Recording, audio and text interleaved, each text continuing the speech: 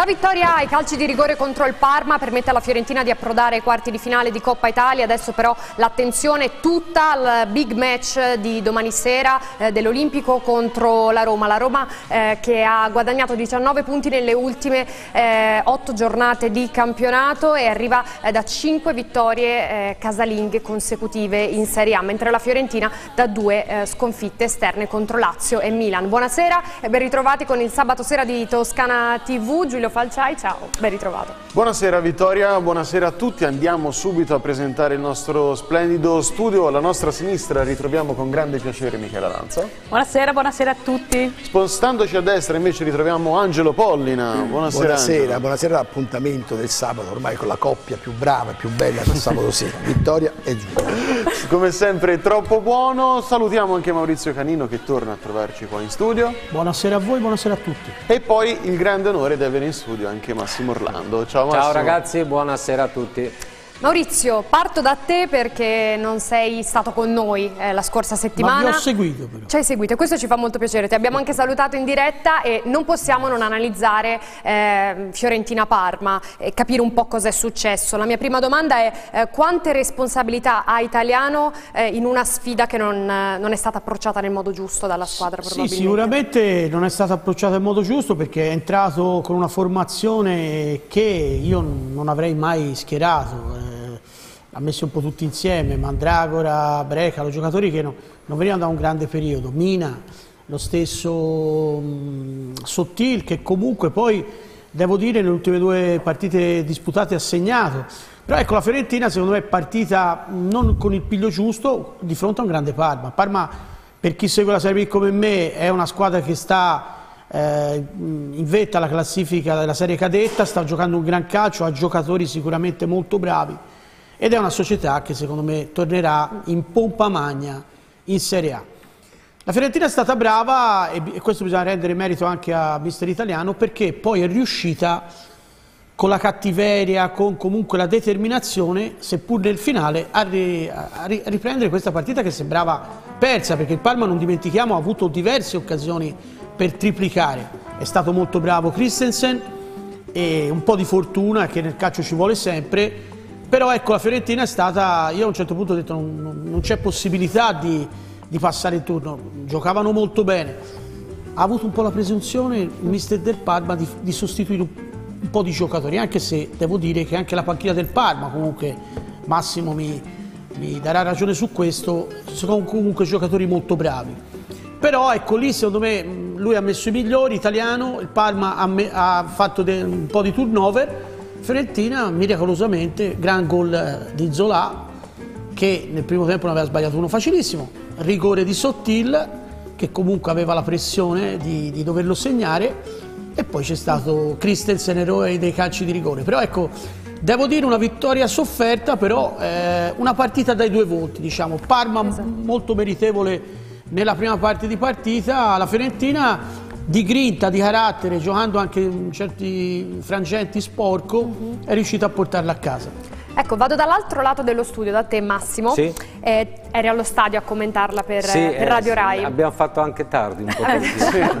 Nessuno si aspettava i calci di rigore, questo è certo. Ehm, una domanda forse un po' scontata, però Prego. sono stati più eh, i meriti del Parma o- i demeriti della Fiorentina a livello di prestazione? Perché poi comunque la Ma Fiorentina direi un 50 è e approdata 50 ai quarti. perché la Fiorentina ha cambiato 8 undicesimi della formazione titolare, cioè quella di solito, insomma, l'ultima che è scesa in campo eh, con la Salernitana e devo dire che comunque al di là di alcune scelte dell'allenatore, comunque chi scende in campo ha sempre un'occasione no?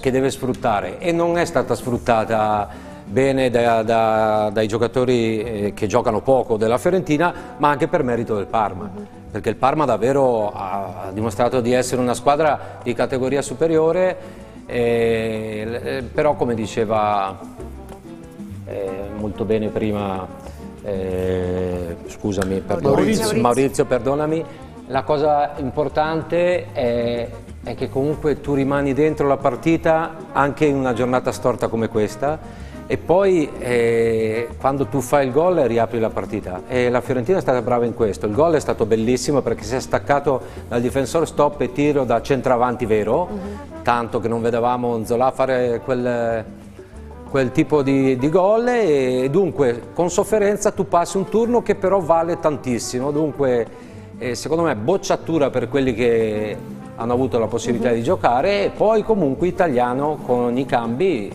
ha rimesso in campo una squadra che nel secondo tempo non con un gioco splendido però con grande carattere e forza ha ripreso la partita.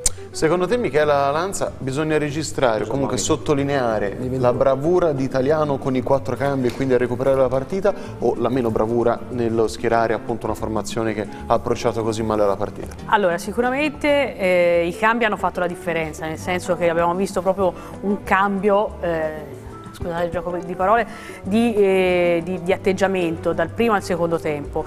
Io credo che eh, è chiaro che Spesso gli allenatori approfittano delle, della Coppa Italia per cercare di far giocare eh, chi di solito gioca meno eh, e quindi io non darei proprio no, la colpa a Italiano perché ha cambiato eh, troppo eh, nel primo tempo. Io darei per quanto riguarda il primo tempo tanti meriti al Parma perché ha dimostrato di essere una squadra eh, che eh, gioca veramente bene, ci sono un paio di giocatori ma non solo un paio che hanno messo in difficoltà la Fiorentina e che cioè, Bernabé per esempio ha fatto un gol splendido, ma non solo quello, eh, si vede proprio che è un giocatore di talento, non, è, non a caso se non sbaglio è cresciuto nella cantiera del Barcellona, no? Si tra Barcellona Manchester e Manchester City, quindi voglio dire non a caso.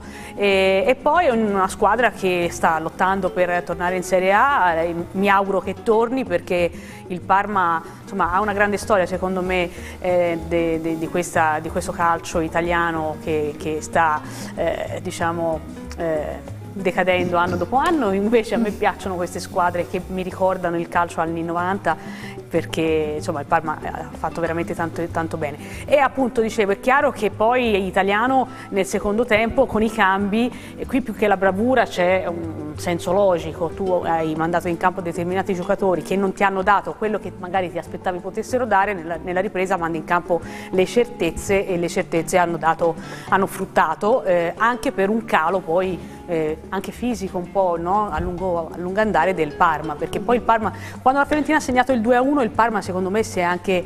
Eh, tra virgolette impaurito, no? perché poi la Fiorentina ha preso coraggio eh, con giocatori che eh, poi possono fare la differenza in qualunque momento, torno a dire che Arthur è un giocatore imprescindibile per questa Fiorentina e, e quindi insomma alla, alla, lunga credo che la Fiorentina abbia eh, fatto quello che doveva fare. Mm -hmm. Ecco, diciamo che io non voglio né dare troppi meriti a nessuno né dare dei meriti a, a a nessuno perché secondo me questo era un turno che la Fiorentina seppur con qualche difficoltà doveva passare l'ha passato perché eh, alla fine è stata più brava sui calci di rigore sono contenta di aver visto all'opera finalmente Christensen e l'abbiamo visto in tutto il suo splendore e nella sua follia no? i portieri di solito sono un po', un po folli e questo ci è piaciuto infatti anche a tanti tifosi no? è piaciuto veramente tanto questo personaggio che è emerso in questa partita difficile e comunque insomma eh, serviva il passaggio del turno, è arrivato eh, dopo la vittoria con la Salernitana che secondo me insomma, è, non c'è tanto da commentare mm -hmm. e, e ora testa alla Roma. Angelo, invece te ti aspettavi queste difficoltà della Fiorentina, ma soprattutto questo Parma, perché come detto è primo in Serie B, ma probabilmente è più forte anche della Salernitana, che è ultima sì. in Serie A. Allora, il Parma è una buona squadra, gioca sempre in Serie B, sicuramente è una squadra che viene di sopra. Io penso che la Fiorentina come fanno alcune squadre, abbia sottovalutato eh, l'importanza dicendo vabbè questi vengono dalla Serie B, adesso ne diamo due e invece il calcio non è così, il calcio dimostra sempre che non bisogna mai sottovalutare nessuno. La Fiorentina l'ha recuperata, è stata brava a recuperarla negli ultimi dieci minuti perché il Parma ha avuto anche l'occasione del 3-0, se fa il 3-0 la partita è chiusa. Però l'ha recuperata, nel calcio conta solo il risultato. Questa dimostrazione di tutti quelli che eh, dicono si gioca bene, gioca male, e invece il calcio gioca bene, gioca male, ognuno ha la sua visione, non c'è un metro di valutazione, il calcio conta solo il risultato, la Fiorentina ha vinto, ha portato a casa bene, però io ho qualche sempre perplessità sulla Fiorentina, la trovo, cari ragazzi, ve lo dico sempre, mhm. cari miei amici bellissimi, la Fiorentina prende troppi gol e se faccio i conti, il gol del campionato, nelle coppe, cioè il problema diventa impressionante perché tu la recuperi col Parma sul 2-0 come l'hai recuperata, ma se prendi con altre squadre importanti vanno sotto 2-0 non la recuperi. Questo è quello che penso io però è un, è un, equilibrio che lo dico dall'inizio dell'anno, secondo me la, la Fiorentina non è equilibrata, non è una squadra equilibrata negli 11 e continuo a pensarla in questo modo. Però è andata bene, adesso c'è il turno, il passaggio di turno, penso il prossimo toccherà la vincente fra Bologna e Inter, esatto. che sarà un bello scontro e la Fiorentina lì si vede già con l'altro salto di qualità, perché la Fiorentina, la Coppa Italia, sicuramente è un torneo importante per la Fiorentina, mm -hmm. fondamentale. Esatto. Ecco, aggiungo che eh, sia eh, che passi il Bologna sia che passi l'Inter, non credo che Vincenzo Italiano manderà in campo 8 undicesimi diversi dalla, rispetto esatto. alla, alla, formazione titolare, insomma, se vuole passare il turno. Ecco, a proposito di Inter, stiamo seguendo anche questo sabato sera di campionato con Inter Udinese 0-0 eh, con la squadra di Simone Inzaghi che è andata vicino al vantaggio, ha preso un palo ecco, circa un minuto e mezzo fa. Eh, Massimo, tornando invece eh, sì. alla partita contro il Parma e in particolare alla situazione che sta vivendo Vincenzo Italiano, che non è una situazione semplicissima perché eh, da un po' di gare eh, continuano ad arrivare critiche per, per, le prestazioni, in particolare della squadra. Eh, la Gazzetta dello Sport ha scritto dopo eh, la partita degli ottavi. Mette in campo una squadra imbarazzante, si corregge coi cambi e si salva. Trovo sempre abbastanza ingenerose e anche ingiustificate perché poi eh, stiamo a parlare no, sempre che sono i risultati che contano e i risultati eh, sono arrivati. Poi possiamo discutere sul fatto che eh, non ha motivato bene i giocatori eh, o, o, ha sottovalutato anche lui il Parma, no? eh, anche con un atteggiamento eh, come sempre un po' spregiudicato, con la squadra molto alta, riprendeva delle ripartenze, il Parma aveva i due esterni eh, che erano incredibili, quelli offensivi. Infatti Parisi per dirti che è un giocatore che ha grande corsa contro eh, il polacco, ora non mi ricordo il nome perché era molto complicato già in diretta pronunciarlo, è andato tante volte in difficoltà. Caiode che è forte sulla corsa è andato in difficoltà. Insomma il Parma è una squadra veramente tosta, dunque qualcosa è stato eh, forse sbagliato e sottovalutato anche da parte dell'allenatore, però le critiche dopo che tu hai passaggio del turno, passaggio del turno in Conference League e domani ti giochi un quarto posto, le, le, le critiche le condivido poco. Ecco, Maurizio, le condividi oppure credi che eh, insomma, io, italiano sai, abbia... Io l'ho criticato tante volte il mister, ma l'ho criticato in buona fede, nel senso io credo, la, a me non piace la fase difensiva, io, io sai, guardo molto gli aspetti di una partita, ieri per esempio vedendo Juventus-Napoli, allora la Juventus da, da centrocampo in su è un'improvvisazione continua, ma dietro ma, eh, Allegri è maniacale, triplica. Osimani ieri no, ce n'aveva tre. A un certo punto lui fa un fallo e viene circondato da cinque giocatori della Juventus, perché poi c'è la reazione, cinque ce n'aveva intorno. Carasveglia ne saltava uno, ne aveva subito due.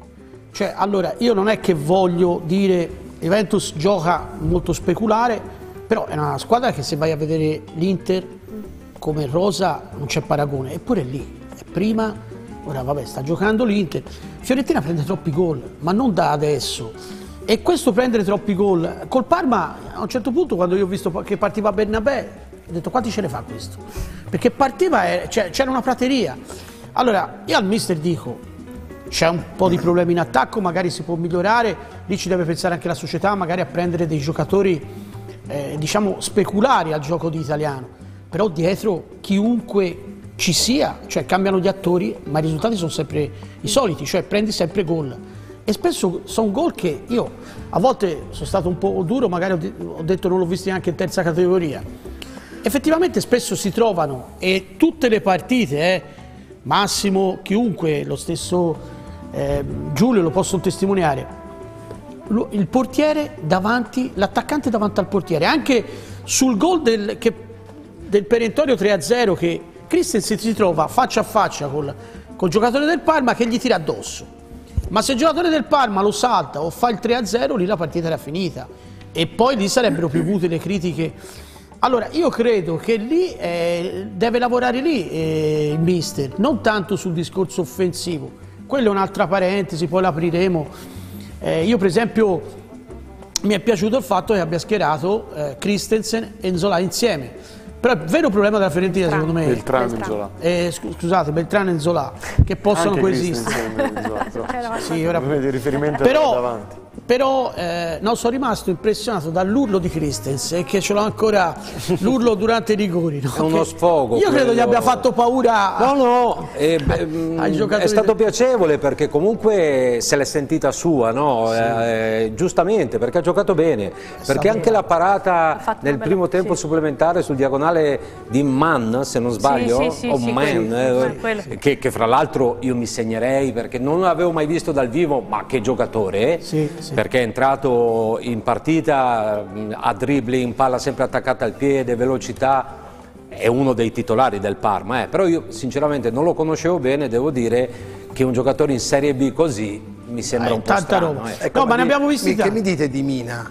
la cantante? no Mina, Mina No, ecco. ma poi, eh, no Mina, Mina Angelo Sui singoli Parleremo dei singoli in modo dopo. molto approfondito. Io quando ho visto Mina a un certo punto mi sono, eh, mi sono girato da quell'altra parte, ho visto ha fatto un paio di svarioni, si può dire, no? in maniera simpatica, veramente Sì, cioè, incredibili. Ecco, la Fiorentina è vero, non ha grandi difensori, però eh, prende un po' troppi gol. Ecco, io lavorerei, fossi il mister, eh, su- sulla difesa, sugli schemi difensivi. Ora non dico di diventare come Allegri, perché Allegri è un maestro proprio sulla- sul difendere, ma certamente non puoi prendere uno, tu- gu- due, tre gol a partita, perché l'abbiamo presi, se vai a vedere vittoria, la Fiorentina ha tutte le partite. Ora, meno male con la Salernitana, ma Salernitana è- è, Salernitana- poca roba. Però Fiorentina prende sempre gol e questo può diventare un problema alla lunga. E comunque io vorrei aggiungere, sempre rimanendo a- alla Prego. partita col Parma, ovviamente che, eh, come ho detto prima, cioè il Parma nella, nella ripresa poi è un po' calato di intensità e questo ha dato una mano alla Fiorentina. Ecco, Perché se non fosse calato l'intensità... eh, se non fosse calato di intensità... Ma ormai Michela, stato- scusa se ti interrompo, ormai chi gioca con quell'intensità un tempo non Non- dura mai. non ce la fa, il non, secondo- non ce la può. fa. eh. Come faceva la Fiorentina italiano il primo, anno di italiano. Esatto, è impossibile, è Eh, stessa cosa eh, per il Parma, è andata troppo veloce, poi è vero che ci sono i cambi, eh, però non sono mai come i titolari. Eh no. e, e il Parma si è ritirato troppo all'indietro. In Serie A eh, la differenza è quella, eh, prima o poi ti fanno un gol, anche 5 minuti alla fine te la riaprono. Infatti. È è stato un po' il problema del Parma di essere andato troppo, però se ti fa il 3-0 la partita esatto, è finita. esatto. ecco. quindi ci sono i pro e i contro, perché Certo. lì comunque il- il- la palla del 3-0 l'hanno avuta, quindi insomma. Sì, sì. Però Angelo, quanta colpa ha italiano se eh, lui, diciamo per obblighi di ehm, rotazioni, di condizioni fisiche, deve schierare ovviamente le seconde linee e poi appunto non sfruttano l'occasione? Io penso zero, e perché ora vi faccio sottolineare due cose. Il campione del mondo del, del Real Madrid, Coyote, sul primo gol ha fatto una roba che voi non- naturalmente lo sorvolate. Eh, lo? È così, perché i gol del presidente della Fiorentina, cari amici, dovevano essere un po' più corretti. Cosa c'entra l'italiano se il terzino fa una roba che la vedi gio- giocare? Perché quello è il primo gol lo prende così, eh. dove la palla l'aveva tranquillamente lui, se la allunga, fa cinciampica, o no? E allora italiano cosa c'è? Alla fine ha provato a mettere una squadra magari sottovalutando, come ho detto prima, il Parma. Ma i gol della Fiorentina, il primo e il secondo, insomma i due gol presi, sono due errori della difesa madornale, dei giocatori che magari noi o voi ritenete bravissimi, sono dei buoni giocatori, devono crescere ancora, perché quegli errori là quando li prendi, se li prendi in Serie A con un'altra squadra, fai degli errori 2-0, non la recuperi. E allora italiano, Giulio, cosa c'entra? L'italiano mette una squadra in campo pensando che con le sue riserve poteva tranquillamente battere il Parma e invece no, non è andata così perché questo è. Poi l'ha cercata di recuperare, semmai c'è un merito, come dice Massimo, che l'ha cercata di recuperare. Eh sì. Ha cambiato, ha cercato di, di aggiustare la squadra, sicuramente ad un livello superiore a un'altra categoria e l'ha, l'ha portata a casa. Ma alcuni errori di alcuni giocatori della Fiorentina, che quando parlo dei giovani, e su questo che io critico sempre Allegri, voi lo sapete da una vita, però su una cosa io sono onesto, lo riconosco. Allegri, i giovani li tiene lì, dice bisogna crescano piano piano, alcuni non possono diventare subito fenomeni, ci vuole pazienza con i giovani, insegnarli quando fanno errori, metterli lì, perché se tu eh, un giovane lo esalti subito, poi leggi il giornale, vedi la televisione, si esalta, pensa di essere diventato Platini e non Poi nel calcio di oggi basta che faccia Questo una è quello che partita penso bene. io, capito Giulio? Non Sì, è- sì, sì. Cioè, eh, alla fine l'italiano No, fa il suo però Caiode voglio dire mh, non gli si può contestare nulla, nel senso che la società ha fatto quello che doveva fare, esplode un ragazzo, sì. oggigiorno bastano tre o quattro partite, questo sono d'accordo, però cosa in deve generale, fare? Eh, devi fare? Sì, sì, in generale, devi allungargli il contratto, sì, cioè, perché no, diventa subito quello, credibile. Eh, quello non v'è dubbio, io eh. sto parlando Massimo dei giocatori, quando è stato preso Parisi, che è un buon giocatore, sì. ma non è, qua ha sbagliato 5-6 partite Parisi. Che... Eh beh, eh, lì, però, lì, però, però ti devo dire la verità, a metterlo dall'altra parte gli ha creato un grosso problema. Sì, tu hai ragione, io sai, penso che nel calcio chi è bravo lo Sì, che cioè, bravo, tu c'hai ragione, però un mancino puro come sì, lui che sì. si deve adattare dall'altra parte... Tutte io... cose che so, hanno una sua, una sua, logica, però quello che voglio dire io, io faccio un altro ragionamento, dico che bisogna non risaltare troppo, sono bravi, bisogna vedere perché una cosa è giocare nell'Empoli, una cosa è giocare nella Fiorentina. Ma quello non c'è dubbio. So, sono due cose diverse, questo ragazzo è cinque partite che io lo vedo, fa dei disastri inumani. Si dice Massimo, sì, forse l'ha sbagliato a metterlo sulla sinistra, ma che uno è bravo. Io quando vedevo Claudio Gentile, Claudio Gentile nasce a sinistra, nasce a te, io ho avuto la fortuna di conoscerlo. Cioè, Ma capisci? tu mi parli di fenomeni. Eh, eh, eh, eh fenomeni, cioè I fenomeni No, possono... io continuo a dare la colpa italiana sulla difesa, Angelo, perché allora io ti racconto questa cosa qua. Non so se l'hanno notato. Rugani, che veniva criticato fino all'anno scorso, alla morte, alla Juventus, lui cosa ha fatto? Ha messo la difesa a tre, l'ha messo in aria, quindi non, mai, non deve mai fare un, per esempio un uno contro uno in velocità con uno come Osimen o con Sveglia, perché lo tiene accanto a Bremer e a Gatti. Quindi Rugani è diventato uno dei giocatori fondamentali della Juventus, perché è stato intelligente Allegri che l'ha messo nel ruolo e nella posizione per non farlo sbagliare, per, far, per farlo emergere. Se tu mi metti eh, eh, Parisi, come diceva Massimo, a destra, che è un mancino, ma mai sentito dire un terzino. Ora lui ha fatto di necessità virtù, è vero, tutti e due terzini destri infortunati, prima eh, il brasiliano Dodò. e poi Dodò, Dodò e poi Caioli. Però, però, sai, io vedo sempre la Fiorentina presa di infilata in difesa, non lo so.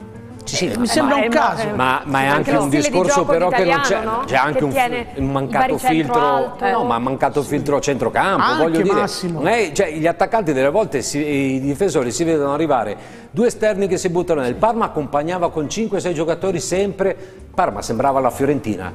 La Fiorentina quando eh, gioca... Quando gioca bene concorsa, personalità e, e qualità. E Se non Parisi solo... non ha l'aiuto di Mandragora nell'occasione anche del gol è difficile difendere. Assolutamente. Però cioè... allo stesso tempo Massimo, visto che ti hai giocato, te lo chiedo a te, come, cioè, quanto è difficile per un calciatore far bene e convincere se giochi una partita ogni 15 giorni? Penso ai vari Mandragora, Barak, eh, lo stesso Mina, è Infantino. È difficile, hai ragione, però eh, Mandragora non, non, secondo me non deve avere queste ansie, nel senso che comunque l'anno scorso era titolare, per tanto tempo è stato titolare, dunque l'allenatore lo conosce e, e, non ne mette in discussione le qualità. In questo momento eh, eh, devi, devi, essere bravo, non è facile, ma devi essere bravo a sfruttare le poche occasioni che ti vengono date. E, e devo dire che nelle ultime, poi per dirti, se Mandragora il gol a Milano, quell'azione sfortunata, certo. comunque ti, gli cambia anche il periodo, no? ci vuole anche fortuna nel, nel, nel, calcio come nella vita, però in questo momento Mandragora è un giocatore che eh, incredibilmente quando scende in campo secondo me eh, ha avuto un'involuzione pericolosa per lui, eh, perché non è più tranquillo, non è tranquillo. mentre Duncan quando gioca eh, è secondo me molto più solido e molto più giocatore. Ecco Michela, invece quanto e come è cambiata la Fiorentina quando è entrato in campo Arthur? Beh, eh, Arthur eh, l'abbiamo sempre detto, dai, Arthur è è la testa della Fiorentina, nel senso che da lui eh, passa eh, il gioco, passa la ragione e quindi dà equilibrio, dà i ritmi giusti, insomma è un giocatore secondo me che, di cui la Fiorentina non può fare, questa Fiorentina non può fare a meno, è chiaro che non le può giocare tutte, perché non è che può giocare eh, tutte le 50 partite che no, ci saranno da, insomma, alla fine, dall'inizio del campionato alla fine della stagione, scusate. E quindi è chiaro che anche lui ha bisogno di rifiatare ogni tanto e, eh, ed, è, ed, è, ancora più chiaro che magari l'italiano cerchi di farlo rifiatare eh, contro avversari che magari si possono ritenere più alla portata, però poi alla fine quando entra in, in campo lui fa la differenza e si vede, cioè, è un centrocampista di quelli che piacciono a me, io insomma sinceramente è uno di quei giocatori io, al, al, quale non rinuncerei quasi mai. A me è piaciuto subito quando la Fiorentina, io perché detti un voto alto all'inizio al mercato della Al Fiorentina. mercato, certo. Sui primi due nomi. Eh, Pa- Parisi Parisi, e e. Arthur. Io dissi, se continuiamo così la Fiorentina fa un mercato suntuoso. Poi dopo sono cominciati ad arrivare giocatori un po' più... Però ecco Arthur era il giocatore che mancava per il gioco d'italiano. Ora è diverso lui, eh, Massimo lo può, lo può testimoniare, rispetto a, a Torreira, fa un ruolo un po' diverso. Diciamo è più mezzala Arthur, si è adattato anche a fare il regista, però Sì. Arthur secondo me può giocare anche un po' più avanti. Torreira è un giocatore che nasce eh, più diciamo da dietro le punte e poi si è adattato a fare il regista. Comunque eh, con l'italiano se non è uno a centrocampo con i piedi buoni No, certo, è Eh, fondamentale. diventa difficile. capito? Ecco, parleremo dei singoli, adesso però ci dobbiamo fermare eh, per qualche minuto, rimanete con noi perché poi inizieremo la disanima appunto di tutti eh, i giocatori che sono stati protagonisti anche eh, di Fiorentina Parma, tra poco.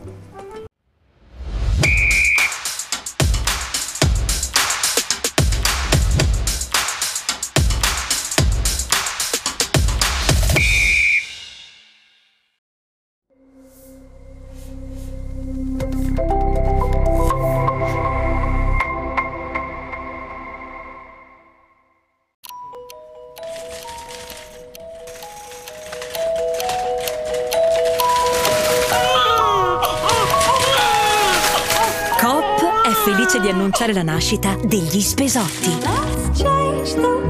La nuova linea con la qualità Coop, super conveniente, con ben 270 prodotti, anzi 271. Vieni a conoscerli tutti. La Coop sei tu.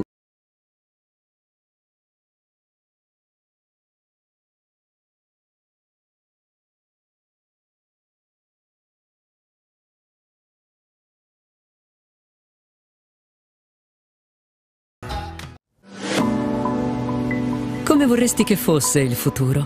Lo abbiamo chiesto a chi dovrà viverlo e costruirlo giorno per giorno. Noi di Estra ascoltiamo questi desideri e li trasformiamo in progetti, chiedendoci quale pianeta vogliamo lasciare alle nuove generazioni. E la nostra risposta è quello che vorrebbero. Si può fare una poesia che parli di risparmio ed energia. Scopri come sul sito bilanciodisostenibilità.estra.it.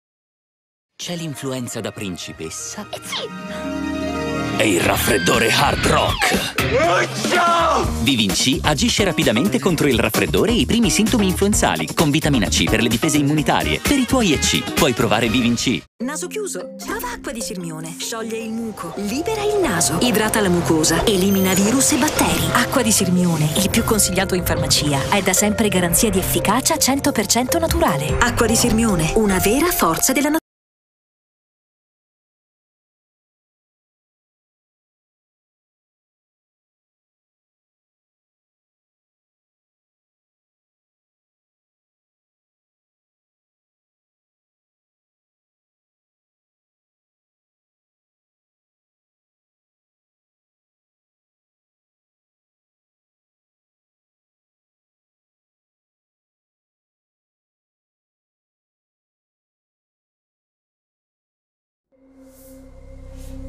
Thank you.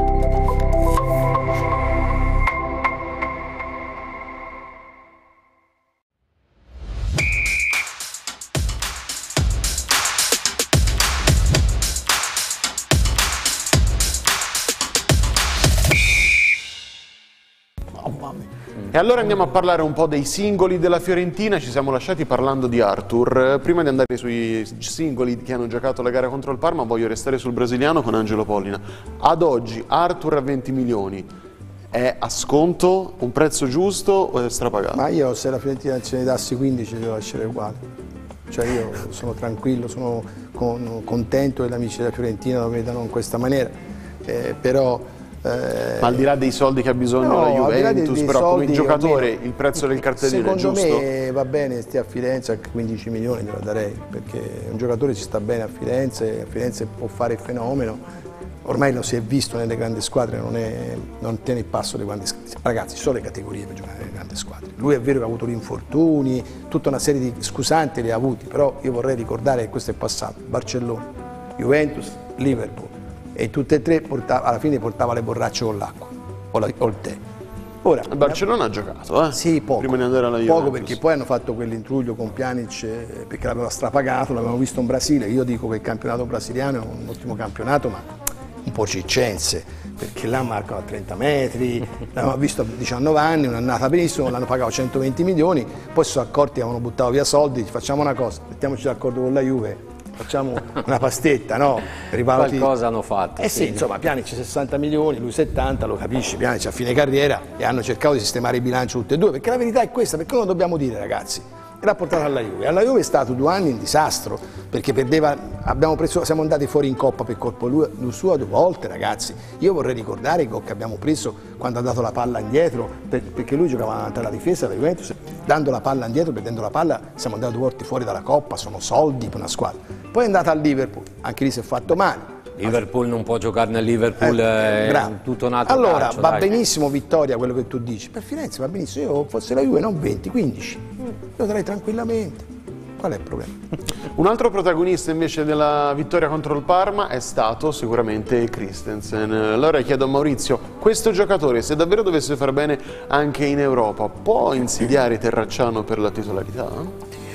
Ma sai, Terracciano per adesso è andato molto bene nella Fiorentina, ha fatto già un paio d'anni che sta facendo delle grandi partite, io eh, non so ora se lo può insidiare, però Christensen devo dire che a me nelle prime uscite non aveva convinto affatto. E invece devo dire che col Parma è stata un po' la sua partita, no? è stato l'eroe del passaggio del turno con i parmensi, però ecco da lì a dire Terracciano, Terracciano ha sicurezza, devo dire che io avevo un po' criticato la società perché non aveva preso un numero uno Vero. Terracciano, detto anche da Giovanni Galli e da tanti altri ex portieri di valore, è il migliore dei secondi.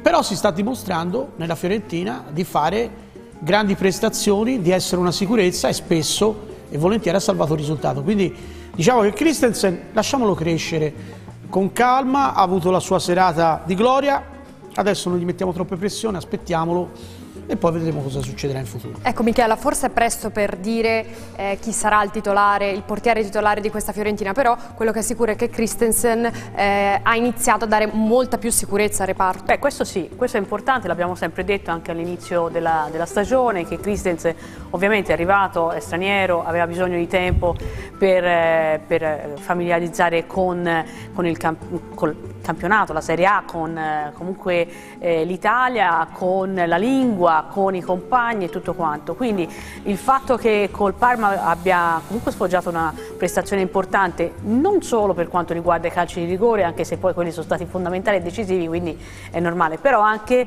durante i 90 minuti, durante anzi i 120 minuti, abbia comunque fornito delle buone parate, abbiamo detto anche prima contro Mann ha fatto mm -hmm. un'ottima parata, eh, credo che sia stato importante per lui principalmente perché comunque ha dato modo anche alla gente che era un po' scettica, certo. noi compresi, eh, certo. perché, insomma, tutti di, ci siamo fatti di delle mettere eh, in risalto quelle che sono le sue qualità tecniche e poi vediamo, però è chiaro che adesso non bisogna, cioè prima magari non si doveva ehm, diciamo, eh, addoss addossargli troppo la colpa di essere arrivato in una piazza per eh, così chi chissà per quale motivo. Adesso non dobbiamo esaltarlo troppo, dobbiamo eh, dargli altre opportunità ovviamente per mettersi in mostra, sicuramente le avrà, eh, sono convinta che le avrà eh, nelle coppe più che altro, essendo comunque un giocatore straniero, un, un giocatore che viene dall'estero, quindi insomma. E poi però in questo momento portiere titolare, credo che rimanga Terracciano, però è, una cosa positiva che abbia dimostrato di, di, dare delle garanzie. Questo sì, con la partita col Importante Parma, era vedere dei miglioramenti. Vedere dei miglioramenti, i miglioramenti sono, si sono visti e quindi insomma, speriamo che migliori ulteriormente, che possa mettere in difficoltà anche l'allenatore, anche se io sono una di quelle che, quando, che pensa che ci sia un portiere titolare e una seconda scelta, va, la riserva è brutta. Cioè, intanto c'è un check del VAR in corso per un possibile eh, fallo eh, su Lautaro Martinez. Eh, Massimo, però, però fa, fa, fa uno scatto eh, per prendere la posizione perché glielo dà perché è fuori gioco no no no no glielo, no, mm, lo, no, no non è fuori no, gioco no. no Angelo non è fuori, fuori gioco, gioco no. e comunque lo tocca si lascia un po' andare però in piena velocità, guarda, fa Lo una dà, giocata se non è fuori gioco è rigore No, no, è rigore, è rigore. È rigore. rigore. Massimo, apriamo una piccola, una breve Rigore. Sì. parentesi. Rigore. Rigore, quindi Rigore. per l'Inter,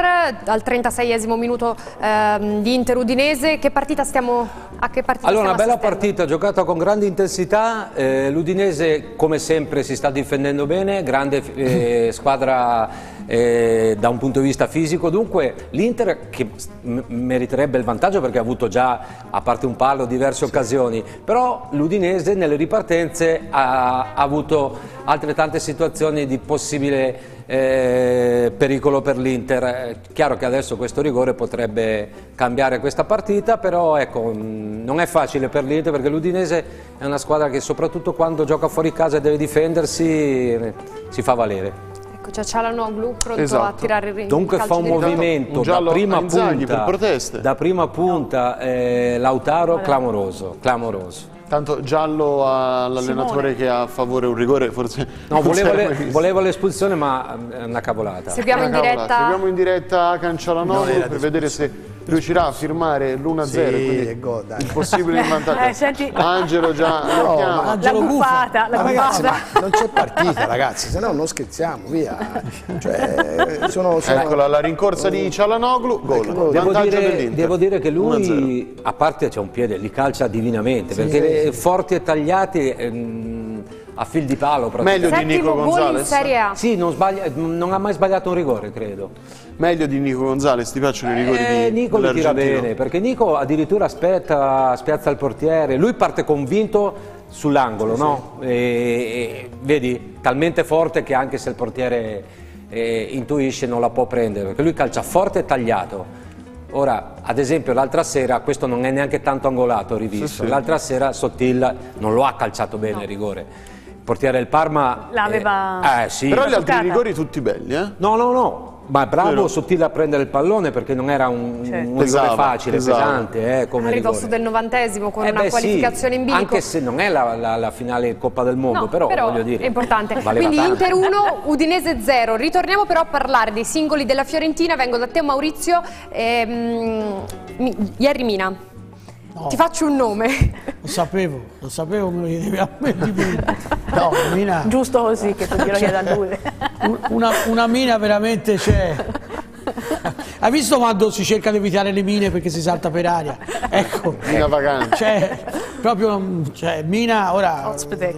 con tutto rispetto, io addirittura Angelo, e lì Angelo ha ragione, cioè, lo guardo la notte, vi rendete conto, mi sveglio alle due per guardare la Colombia per vedere Mina. Ecco, però Cioè, qualche ma problemino, voglio- sì, qualche ma- problemino. no, ha ragione Angelo a chiamare il Non 118. bene, eh.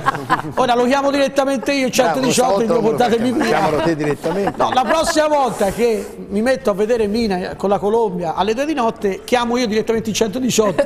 Sì, però secondo me non ce la racconti tutta, no? Eh, non, non- non ti puoi svegliare, o c'hai una partita di NBA o c'hai qualche altra cosa da fare. Perché Beh, però ora soffre di per insonnia per prendere sonno, si ecco, guarda la Vedi, Colombia. ecco, vedi dai, Massimo, Massimo Eh, Comunque, andato Maurizio, un commento No, sulla prestazione. eh, è un giocatore, non si- con tutto il rispetto, in questo momento non, non si può schierare, non si può farlo giocare, soprattutto in un campionato o comunque in una compagine una Fiorentina che ha delle ambizioni. A parte, secondo me non giocherebbe nemmeno in altre squadre, è in ritardo di condizione, è lento, è spaesato, non sa spesso e volentieri cosa fare, è, è in- proprio in imbarazzo totale.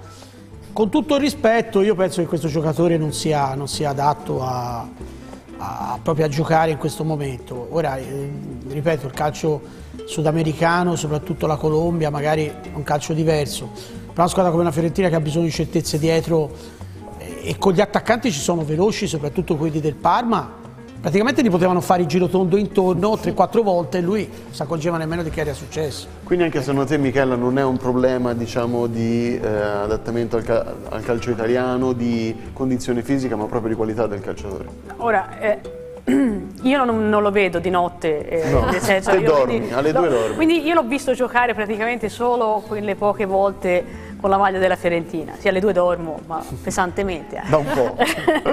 Però al di là di questo penso che insomma, sicuramente la condizione fisica eh, sta iniziando piano piano a raggiungerla adesso perché è arrivato, si è fatto male e comunque veniva da un periodo eh, anche prima di arrivare a Firenze in cui aveva giocato poco e tutto quanto. Quindi io, mh, mm, eh, qui è, è, italiano che deve riuscire a capire se questo è un problema di condizione fisica e quindi magari di eh, farlo giocare spezzoni di partite, magari quando le cose sono, vanno bene, per poi insomma, vedere se, eh, se, migliora, oppure è un problema di eh, campionato che non è adatto a quelle che sono le sue qualità.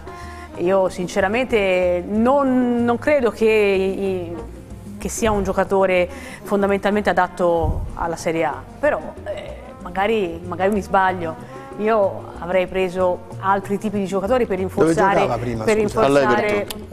No, ma sono quattro anni che non gioca. Esatto. Ha uno storico degli infortuni sì. Penso che andare a prendere un giocatore che aveva appunto delle difficoltà fisiche perché era stato fermo per tanto tempo, arriva a Firenze e si fa male un'altra volta, questo sicuramente non lo ha aiutato. Però tu vendi Igor e mi prendi Mina, diciamo che secondo me qualcosa manca. Anche perché no, nell'Everton comunque aveva fatto molto bene, eh. il problema è che Però il calcio inglese è diverso, è diverso perché sai inglese. che vanno, eh, gli esterni vanno Mamma e cross. Tanto raddoppio dell'Inter con Scusa, Marco. Marco. Che gol ragazzi. Un pezzo. Cosa Col, fa, collo, collo cosa fa l'Udinese su questo gol dell'Inter? No, c'hai ragione, però, cioè, però no, in questo momento sono ingiocabili davvero l'Inter, ragazzi. Sì, dai. Sì. Guarda che, che, gol fa, ora c'è un mezzo rimpallo e la palla finisce a lui, chiaramente gli esterni dell'Inter sono sempre lì sì. in fase offensiva e calcia magistralmente. Con l'esterno non ci può arrivare. No, ecco l'Inter quando Chiedo gioca... scusa che vi ho interrotto, ma No, dicevo l'Inter il gol quando gioca in questo modo è veramente devastante. L'unica cosa, magari vediamola durante il proseguo del campionato perché sì, qui comunque c'è un della, della difesa, della retroguardia dell'Udinese. No, fa due cose, Marco, la palla sì. l'aveva l'Udinese, il giocatore sì, dell'Udinese. Sì, cioè, comunque c'è la Noglu che, che, gli dà questa palla, che entra sia nel gol e poi guardate come la calcia, la palla non gira neanche. E quindi Inter 2. Udinese 0. Eh, L'Inter, per adesso non mola, però insomma c'è, questo bel testa a testa tra Juventus e Inter. E, ehm, ritornando eh, appunto per Mina, quando era all'Everton, io me lo ricordo, era un giocatore che comunque eh, di testa, soprattutto sui cross delle squadre avversarie, eh, diceva la sua. Però il campionato inglese è completamente diverso da quello italiano. In quello italiano ci sono molte meno, diciamo, eh, cross dalle fasce, si tende più magari a crossare da centrocampo e spesso sono gli attaccanti che giocano in maniera individuale. Il calcio inglese è completamente differente, mm, si va sulle fasce e si crossa, quindi eh, diciamo uno come Mina ci può stare. Anche Milenkovic per esempio che è bravo di testa, soprattutto in fase difensiva, secondo me nel campionato inglese giocherebbe bene. Quando vai però in un campionato come quello italiano che trovi magari un Lautaro Martinez, che ne so, un Chiesa, un giocatore che ti salta a più pari, Mina eh, che è eh, 1,90 m, sopra il 1,90 m, lento, l'abbiamo visto col Parma, quando trovava Bernabé non, non, eh, non, lo vedeva. Non importa neanche andare a cercare appunto. Chiesa o, o Lautaro, basta sì, ho fatto qualcosa appunto, bastato Bernabé, ecco, per fare per fare un esempio così. No, ma non è, secondo me insomma, è stata una scelta eh, forse non, non, troppo ponderata, diciamo, puntare su Mina dopo aver ceduto Igor che con tutti i difetti che poteva avere comunque era... Evidentemente c'era anche una e questione poi, legata, eh, Vittoria, una questione economica. Massimo eh. ha detto una cosa, cioè viene da un infortunio importante, è stato molto fermo, giocatore che era di più che una scommessa, eh. quindi insomma... Vabbè, l'abbiamo visto. Certo, però metterlo in campo in una partita così, faceva un freddo l'altra sera. Eh... 3-0 Inter. No, vabbè, stanno, stanno dilagando. Dilagato. Mamma mia. Sì, sì. Cioè, ragazzi, stanno dilagando. Cioè l'Udinese, loro stanno giocando bene, l'Udinese è proprio squagliare in difesa. Eh, ma, eh, ma perché comunque ti arrivano da tutte sì, le sì, parti, eh. È vero arrivano da tutte le parti e anche questo Turam, ora non è che non vogliamo parlare, però beh, questo Turam, cioè è andato via eh, Lukaku, hanno preso questo giocatore a parametro zero e, e, mi sembra che sia il sesto o settimo gol questo. Eh, cioè Poi sono... non aveva, mh, insomma, nel corso della sua carriera no, segnato non è, non è mai stato molto. un bomber. Non è sì, mai sì. stato un... Sì, ecco, è vero, è vero. Bene, bomber. Questo forse anche... Comunque dicevo, no, eh, Mina anche l'altra sera forse la partita meno indicata per metterlo in campo perché comunque si vede che è lento, si vede che è in ritardo, uno mi dice eh, ma siamo a Natale, eh, vabbè, la preparazione, però gli infortuni li ha avuti eh, lui, infatti. dunque una partita così, io ad esempio mh, sarei partito magari con una coppia di centrali diversa, ecco, Milan eh, l'avrei messo dentro casomai il secondo tempo qualora il risultato fosse stato positivo.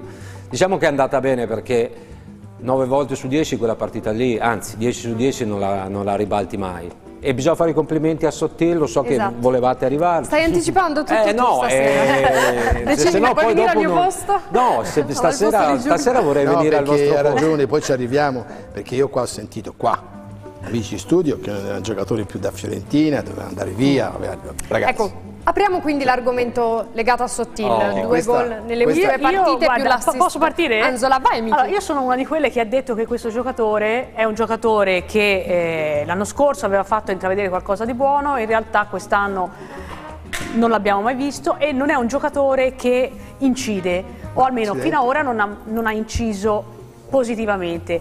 È un giocatore che ha degli alti e bassi, secondo me eh, anche a livello psicologico. Detto questo, sono molto contenta che contro la Salernitana abbia fatto quel gol e soprattutto non solo quel gol, ma anche quella prestazione.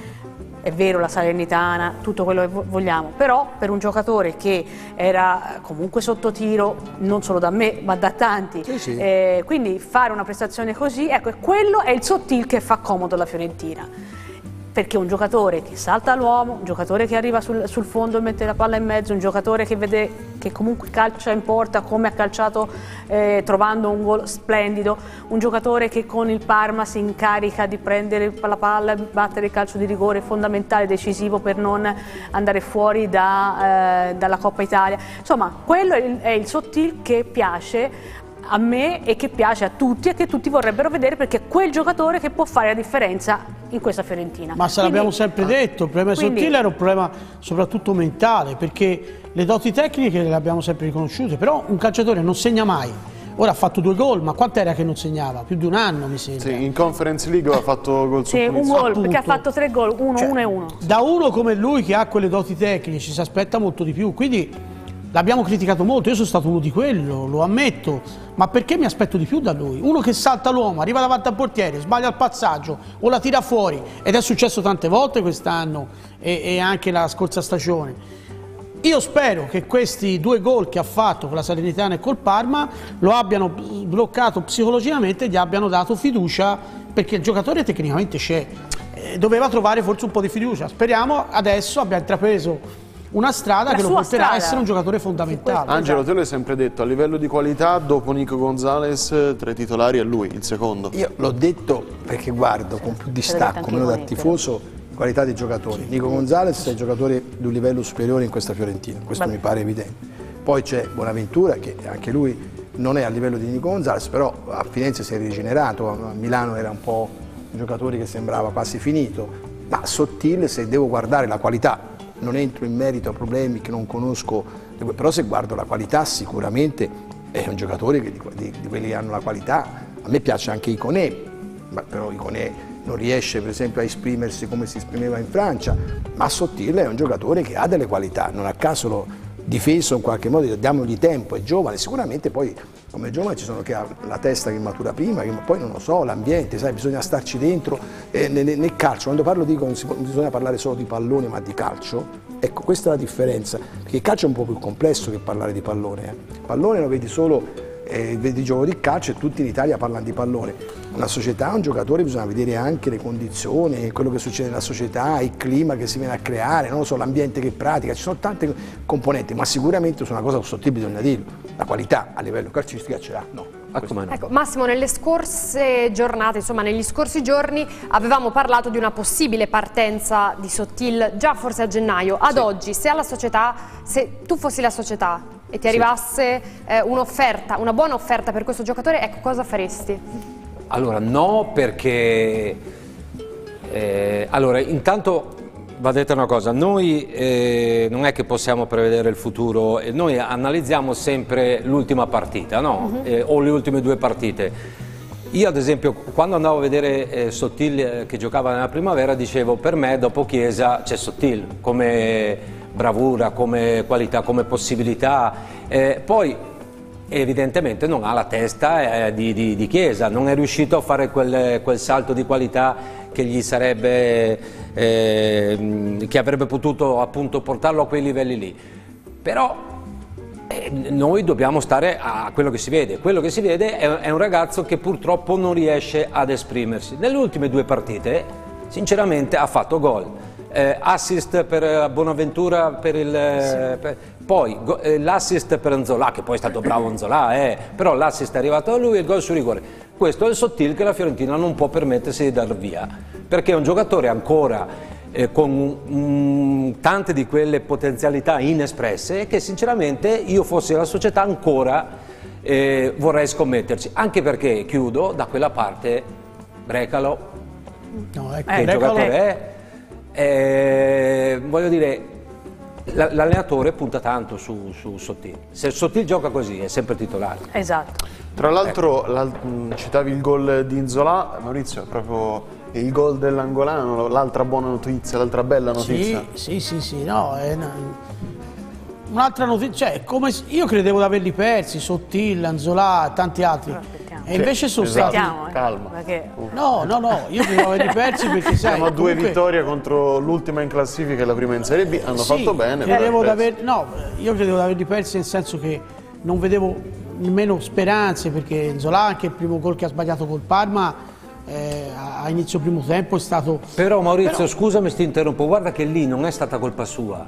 Lì sì, il difensore fa un anticipo clamoroso. Sì, sì, eh. sì, è stato bravo. Cioè, Però Lonzola, Massimo, se te te lo ricordi nello Spezia, più cattivo entrava, tu dici? Era più cattivo, entrava, ah, portava dentro sì. difensore, pallone. Okay, okay, okay. Lui secondo me, però questo gol, io credo che l'abbia... Lui ha bisogno di ritrovare cioè, la fiducia, fiducia, certo, certo. soprattutto mentale, un po' come Sottil. Sì, sì. Io credo che tu hai giocato a calcio, no? la testa in un calciatore, in uno sportivo è fondamentale, no? Certo. Cioè di dire eh, magari come Sinner batto Djokovic una volta, allora lo posso battere e lo ribatto anche la seconda. Certo. Magari eh, Nzola non trovava il gol come Sottil, eh, magari faceva tutto bene fino a che non arrivava in aria e poi li si... Ora che hanno cominciato a segnare, gran gol tra l'altro di Nzola col Parma, che è stato poi eh, diciamo la carica no? per riuscire ad arrivare al pareggio e poi alla qualificazione. Queste cose secondo me per il morale fanno bene, quindi magari chissà, Nzola con Beltran. Io spero che questa cosa sia eh, riproposta da italiano. No, no, assolutamente la, no. no. Massimo scuote la testa. No, la, ma non io ha giocato però eh, in conferenza stampa italiano post partita che probabilmente no, rivedremo. Sì, le rivedremo, le rivedremo insieme. Le rivedremo se stai sotto 2-0, dunque eh. io spero di non rivederlo esatto. mai. Ecco. Ma sull'1-0 lui non lo farà mai sullo 0-0 eh, cioè parte... no io sai sono un, come si dice, un, un romantico no? come mi piaceva quando giocavate tutti insieme te Batistuta Baiano, tu... sai io ero sono un po' così no? no. ma delle volte perché crei anche sei un grande intenditore di pallone giustamente perché il pallone 7, 8 si gioca a Circensi che se frega la tattica sì però cioè il calcio che se ne frega se si prende go quello è bello a circo è bello però spesso quando ci sono i grandi calciatori perché sì. il Brasile il Brasile ha giocato anche ha vinto un mondiale con eh, anche nell'82 il Brasile aveva Rivaldo, 24 eh, attaccanti Romario, 35 30 eh, ma hanno vinto un mondiale abbiamo fatto un, vesti nel, un vestitino eh, ma nel 2002 però hanno vinto il mondiale ancora oggi nel 2002 hanno vinto il mondiale con questi giocatori. Sì, quindi sì. non è vero che secondo ma me ti ricordo l'82 che avevano i fenomeni che avevano veramente fenomeni. Peccato che l'avevano tutti davanti di dietro erano tutti i pellegrini sì, che noi abbiamo fatto un mondiale dando spettacolo a me, no, a me comunque gli ultimi, gli ultimi 20 minuti giocavi con Quame, Infantino, eh, eh, Zola, Beltran. Zola, Beltran e, e tante volte eh, andava a fare il trequartista anche, sì, andava a supportare la fase offensiva eh, Arthur, che giocava molto avanti, che si scambiava, co- perché ha giocato col doppio play, no? Mai E vista dunque- una Fiorentina così offensiva? No, ma Eh. delle volte eh, la confusione, eh, questo gli- glielo devo riconoscere a Mourinho. Mourinho, una volta ho sentito eh, l'intervista che, che ha detto io butto dentro tutti i difensori che vanno in difficoltà perché eh, la difesa prima giocava a 3, magari a 4, si deve mettere a 5, dunque vai in difficoltà. Poi chiaramente si sta parlando anche, ma queste soluzioni secondo me delle volte sono un po' di disperazione anche, Sì, no? però, Massimo io le devi dico, provare. Quando hai giocatori forti, Mourinho, lo stesso Mourinho, quando allenava l'Inter del Sì. Triplete, a volte giocava con tutti quelli forti che aveva, con tutti. gli faceva tutta la fascia. Cioè, Eto'o faceva, partiva Eh, Eto'o- a ma- fare il terzino. Ma l'Inter ha vinto Cioè, una la- Champions con Eto'o terzino, eh? Io No, dico, per dire. eh, ragazzi, secondo me quando hai giocatori bravi, poi li puoi mettere anche, Ma la diciamo, Juve c'era Mandzukic, faceva... eh, faceva Però i giocatori bravi sono Zola e Beltran? eh? No, eh, beh, a me Beltran continua a dire che è un giocatore che piace, deve trovare ancora la posizione, gliela deve trovare l'allenatore in questo caso, però a me Beltran piace. Zola è più centravanti, non sono due, due giocatori che possono diciamo, ehm, ricoprire lo stesso ruolo. Eh, il centravanti centrale, il centravanti vero è Zola. Beltran non è un centravanti, l'ho detto tante volte, eh, lo puoi mettere come falso 9, ma è un giocatore che secondo me può, può giocare in tutti i ruoli fuori che centravanti, l'abbiamo visto la Juventus, lo mise eh, in mezzo a tre, a tre giganti eh, che sono i tre, i tre centrali della Juve, non hanno un tocco palla. Michela Quindi, ecco, che devo... No, so che- al volo volevo dire, Enzola ha fatto, due ha fatto tre gol, uno in Coppa Italia, uno in, Coppa, in Conference e uno in campionato. Quello in Coppa Italia e quello in campionato sono stati due gol bellissimi, tutti e due. Detto questo, domani sera a Roma chi gioca? Eh, ne parleremo. Ora Ne abbiamo parleremo, parlato tanto parleremo. di Fiorentina Cambio tutto, Parma, eh. tra Cambio poco tutto. parliamo invece di Roma Fiorentina, lo faremo anche con le parole dei due tecnici, prima però una piccola pausa.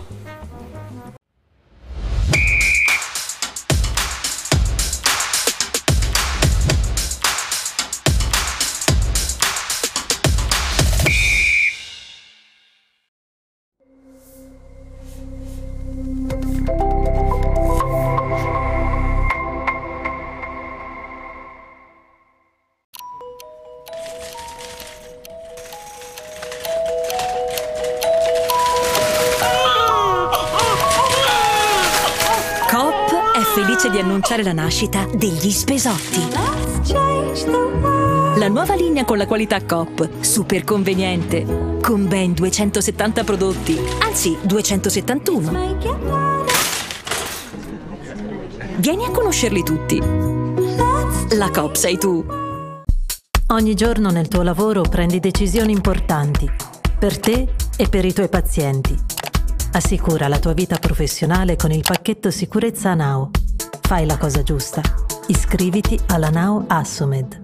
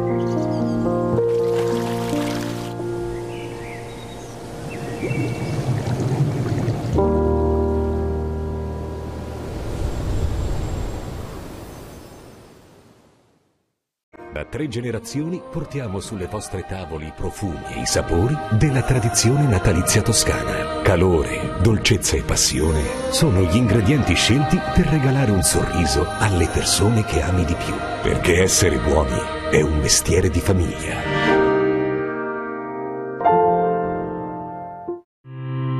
Grazie alla nostra competenza tecnica mettiamo a disposizione tutta la nostra esperienza e professionalità per supportarvi ed assistervi durante il percorso volto ad accedere al cosiddetto super bonus con detrazione del 110%. Dagli impianti elettrici agli speciali, dall'efficientamento energetico passando per le infrastrutture di ricarica di veicoli elettrici e wallbox, CEC System è in grado di fornire il giusto supporto per ogni esigenza di privati, imprese e condomini. Contattateci per informazioni.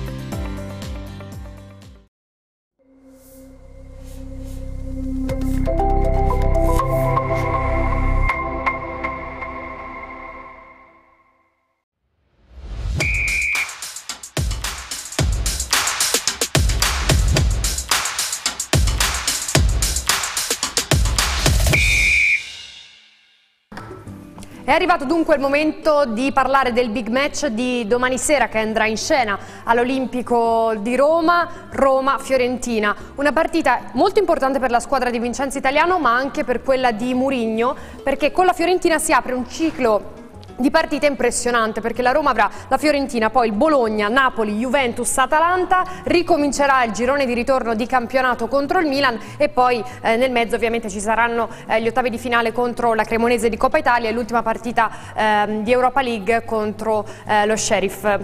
Massimo, vengo da te, quindi facciamo una panoramica di questa partita. Beh, eh, Bella partita, eh, nel senso importantissima perché ci si gioca veramente tanto, anche se manca ancora tanto, però eh, quest'anno abbiamo visto che davanti Milan e Napoli per tanti motivi steccano.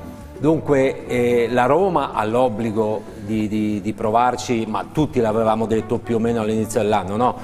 Eh, avendo davanti quei due giocatori poi eh, hai un'arma in più. Non è una squadra che gioca bene, però è una squadra che non esce mai dalla partita. Ha un allenatore che sappiamo come riesce a preparare le partite, cosa riesce a trasmettere, cosa riesce a trasmettere anche al di fuori delle, de, de, del suo spogliatoio. E, e dunque eh, grande attenzione perché poi c'è un pubblico clamoroso sempre sì. sold, sold out. out dunque tra, trascinati anche da questo pubblico, sarà una bella prova per la Fiorentina, ma io mi aspetto la grande Fiorentina domani sera, mentre col Parma si è sofferto per tanti motivi che abbiamo analizzato, io domani sera mi aspetto la Fiorentina perché la Roma comunque ti fa giocare, la Roma è un'altra squadra che è un po' tipo Juve, eh, non, non, non, pensa molto al, al, al, gioco, pensa più a, a, vincere la partita, non che la Fiorentina non pensi a vincere la partita, però ha un Hanno gioco... Due mentalità diverse. Sì, anche. mentalità diversa, cerca di, di,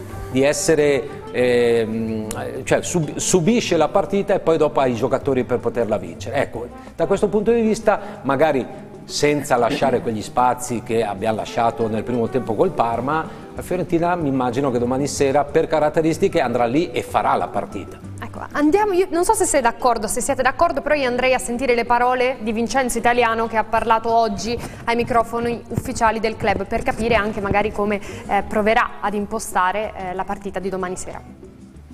Siamo alla vigilia di Roma-Fiorentina, domani sarà una sfida delicatissima, la Roma è al quarto posto con un solo punto di vantaggio proprio sulla Fiorentina, quanto pesa questo, questa partita? Partita importante, importante per entrambe le squadre, ci ritroviamo in, eh, in, zone alte di classifica e chiaramente sono punti importanti, punti importanti per, per chi otterrà questa vittoria per fare un bel balzo in avanti, quindi eh, anche noi ci teniamo a far bene, sappiamo di andare ad affrontare una squadra di altissimo valore, di altissimo livello, però siamo reduci da, da qualche buon risultato, eh, qualche ottima prestazione, quindi dobbiamo cercare di avere quella continuità che spesso ci manca e domani in un match così difficile cercheremo di, di dare quel, quel, quel, balzo dal punto di vista mentale che può darci davvero tanto per quanto riguarda la classifica. La squadra viene da 120 minuti molto dispendiosi in condizioni atmosferiche difficili, ne terrà conto per domani sulle sue scelte? Ma abbiamo avuto questo turno di Coppa che eh, sì, siamo contenti di aver superato il turno, è stata una partita che alla fine si è rivelata tosta, dura, sono stati 120 minuti davvero faticosi e quindi abbiamo da, da gestire un po' di, di, ragazzi che devono smaltire questa fatica, quindi vediamo domani, ma come sempre abbiamo dimostrato di, di avere a disposizione un gruppo che può e sa di essere un gruppo che viene coinvolto, che quando viene chiamato in causa dà sempre il massimo e domani sono convinto che chi andrà in campo darà filo da torcere a questa Roma. Parliamo anche di Nico, come sta? Sarà disponibile per domani? Nico rientra, è tra i convocati, ha fatto qualche giorno eh, a parte, differenziato, oggi ha un po' accelerato, eh, sta discretamente bene, vediamo, vediamo domani. Eh, quegli allenamenti che non ha svolto con la squadra non gli hanno fatto perdere condizione, quello sicuramente perché eh, di condizione ne ha, però vediamo, vediamo perché abbiamo ancora tanti impegni, tante partite eh, e gestiremo domani con calma il tutto. Ultima domanda, quanto può pesare il fattore ambientale in una partita così delicata come quella di domani? Sappiamo di andare a, ad affrontare una squadra che è trascinata, trascinata dall'ambiente, dal pubblico, è uno stadio che eh, canta dal primo all'ultimo minuto e che dà una grossa mano alla propria squadra, quindi domani per, da parte nostra ci vuole grande personalità, grande carattere, spirito battagliero perché domani quello non deve mancare. E poi mettere in difficoltà la Roma, dove possiamo metterla in difficoltà, sappiamo i loro punti di forza, sappiamo quello che eh, possiamo fare anche noi nel momento in cui abbiamo la palla, quindi mh, andare lì con personalità, eh, con entusiasmo, con fiducia, a proporre quello che abbiamo fatto vedere nelle ultime partite, cercando di sbagliare il meno possibile e poi tireremo le somme, ma importante fare prestazione, giocare a calcio, giocare bene perché solo così si può venire fuori con un risultato positivo da, da quello stadio e contro una squadra così forte.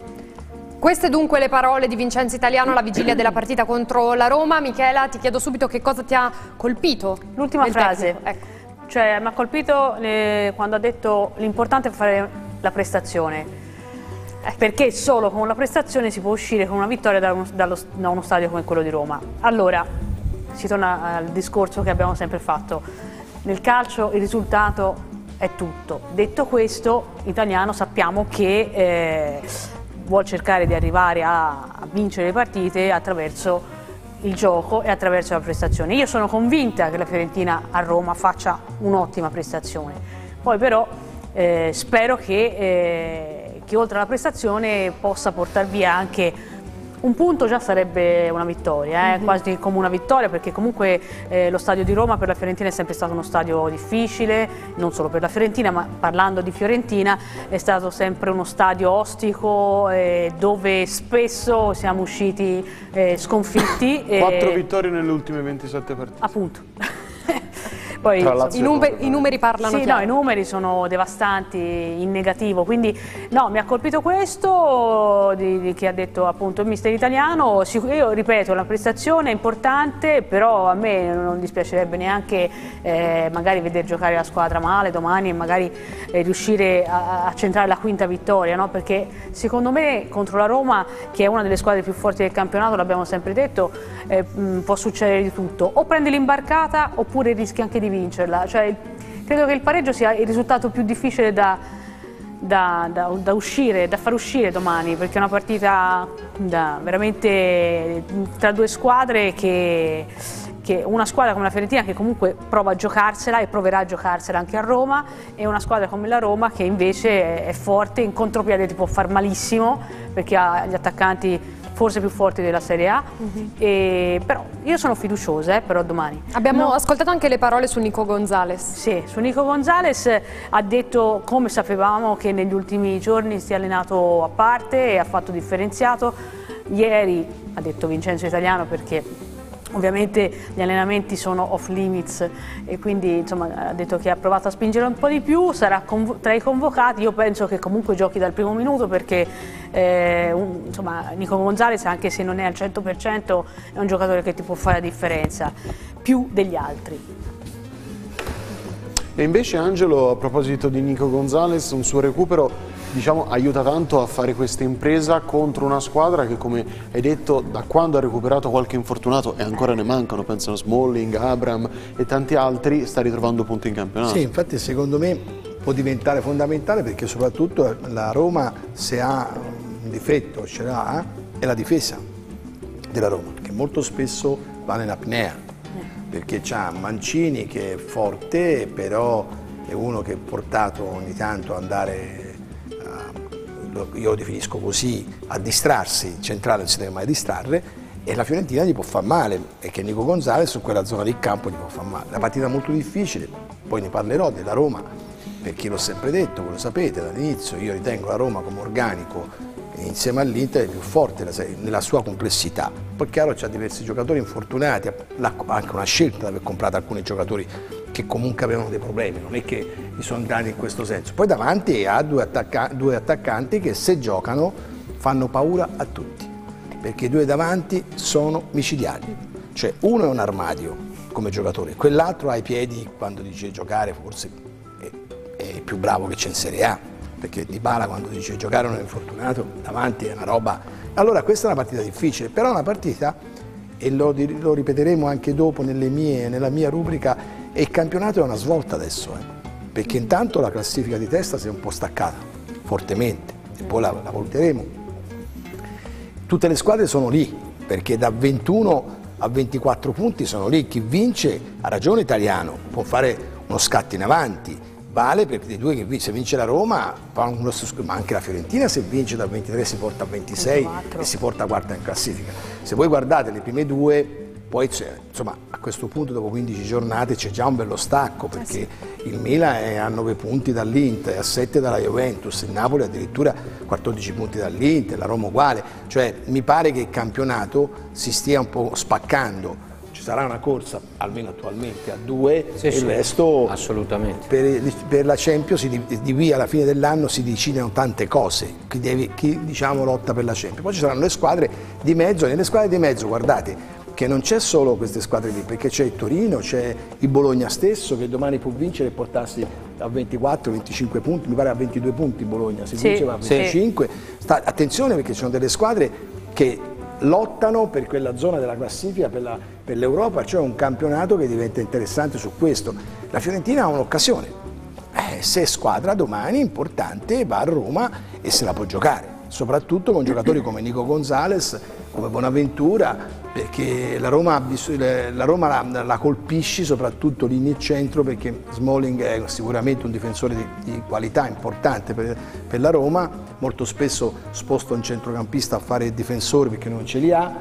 Sì, eh, sposta Cristante eh, spesso bravo. in linea eh. con i difensori, però insomma al di là di tutto la Fiorentina, eh, lui ha detto bisogna giocare bene è nel DNA, certo. la Fiorentina non può fare la partita, la partita, di attesa, perché se fa la partita di attesa allora sì prende l'imbarcata. La Fiorentina ha bisogno certo. magari con più attenzione, con una squadra eh, che ragiona di più, un po' più bassa, perché comunque abbiamo detto ci sono due fenomeni eh, e poi hanno gli inserimenti dei, dei, vari centrocampisti, lo stesso Spinazzola si butta certo. che è un esterno, insomma attenzione, però insomma, credo, Se la può giocare. Credo che anche la Roma, analizzando la Fiorentina, non sia molto certo. contenta. Certo. Eh. Eh, certo. Ecco, infatti, eh, andiamo ad ascoltare le parole anche di Giuseppe Mourinho, che ha parlato oggi in conferenza stampa e ha parlato del lavoro svolto in settimana, della partita contro la Fiorentina e poi anche eh, dell'incontro con il procuratore federale Giuseppe Chine dopo eh, le discusse no, parole eh, prima della partita contro il Sassuolo, ma noi ci, ci concentriamo sul campo. Ecco le parole di Mourinho.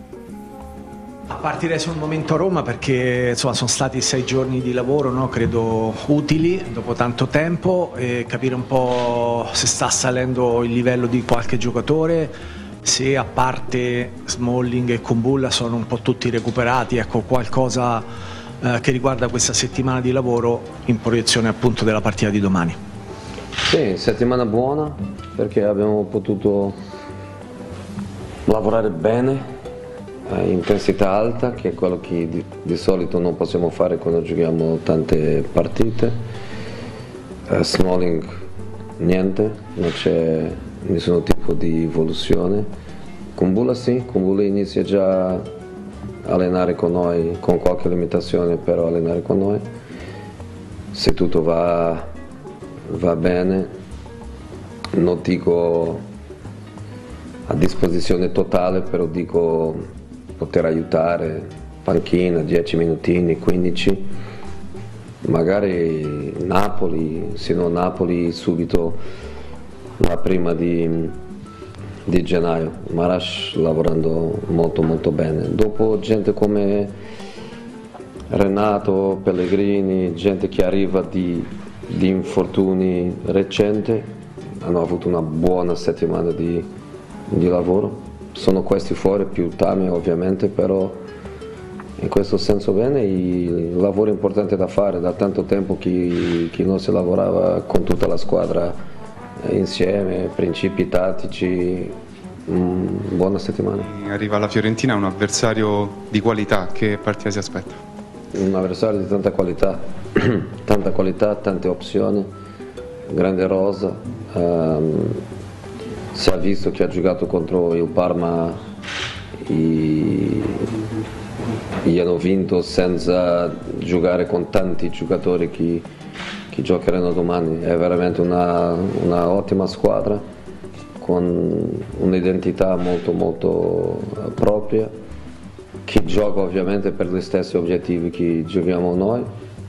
La differenza in classifica dimostra chiaramente questo, questo qua. In, mi aspetto una partita molto difficile sicuramente. Queste le parole del tecnico portoghese Massimo, si aspetta una partita molto difficile. Ha ragione, ha ragione, eh, in questo caso non sta eh, piangendo, non sta pre facendo pretattica, ha ragione, perché di calcio ne capisce, poi è discutibile su tante altre cose, ma lasciamo stare. Eh, però ha ragione perché la Fiorentina ha detto bene, ha tante soluzioni, è una squadra che gioca bene, dunque ora la Roma che sta bene, l'unica cosa che, che, mi fa paura, ti ripeto, è l'ambiente, è come carica la sua squadra, come influenza anche certe decisioni, che comunque alla fine, vuoi o non vuoi, lui c'ha tutti contro, però alla fine sta ottenendo quello che vuole. E... Mancini non doveva essere cioè, Mancini, oh, Mancini, per dirti, quella, quel, quel, mezzo fallo, quello è, è ammonizione eh, contro il Sassuolo. E lui però, sapendo già, è riuscito a, a, a far sì che, che l'arbitro della partita col Sassuolo fosse influenzato e poi dopo ha ottenuto quello che voleva, la vittoria e Mancini che non venisse ammonito. Però ecco, la cosa che mi è piaciuta all'intervista, perché lo sa, è un uomo di calcio, sa che la Fiorentina può metterlo in difficoltà. Tra l'altro lo diceva prima Massimo, Maurizio, quello che colpisce della, della Roma è che è una squadra che non muore mai e a dimostrarlo è proprio il fatto che in Europa è la squadra ad aver fatto più gol dopo, dopo l'ottantesimo minuto. Eh, lì c'è tanto la mano del mister, di, di, di José Mourinho, che ha fatto un lavoro da quando è arrivato alla Roma strepitoso, due finali in due anni, di cui una rubata, lo, lo ripeto, con il, con il, Siviglia perché doveva vincere anche, la, dopo aver vinto la Conference, doveva vincere anche l'Europa League. Allenatore che, che, è un maestro, è sempre, è sempre, bello anche ascoltarlo in conferenza stampa perché non è mai banale, c'è cioè sempre, sempre, qualcosa da scoprire no? in questo lui poi, se ci fate caso, fa sempre complimenti agli avversari, già prima della partita. Così Parla sempre bene, qualsiasi avversario. E questo è segno di seniorità e nello stesso tempo di rispetto. Quindi è un allenatore, secondo me, è un maestro. Io credo che eh, bisognerà cercare di tenerlo in tutte le maniere in Italia perché è un allenatore che sia negli anni che è stato all'Inter che adesso alla Roma ha veramente portato un qualcosa di importante nel calcio italiano.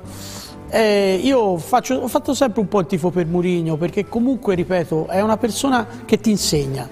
Eh, a volte è vero, ha qualche modo di fare che però secondo me, non dico che è giustificato, però lui quando eh, sbotta o quando dice un qualcosa è perché lo pensa veramente, non, non, non lo fa mai con secondi fini.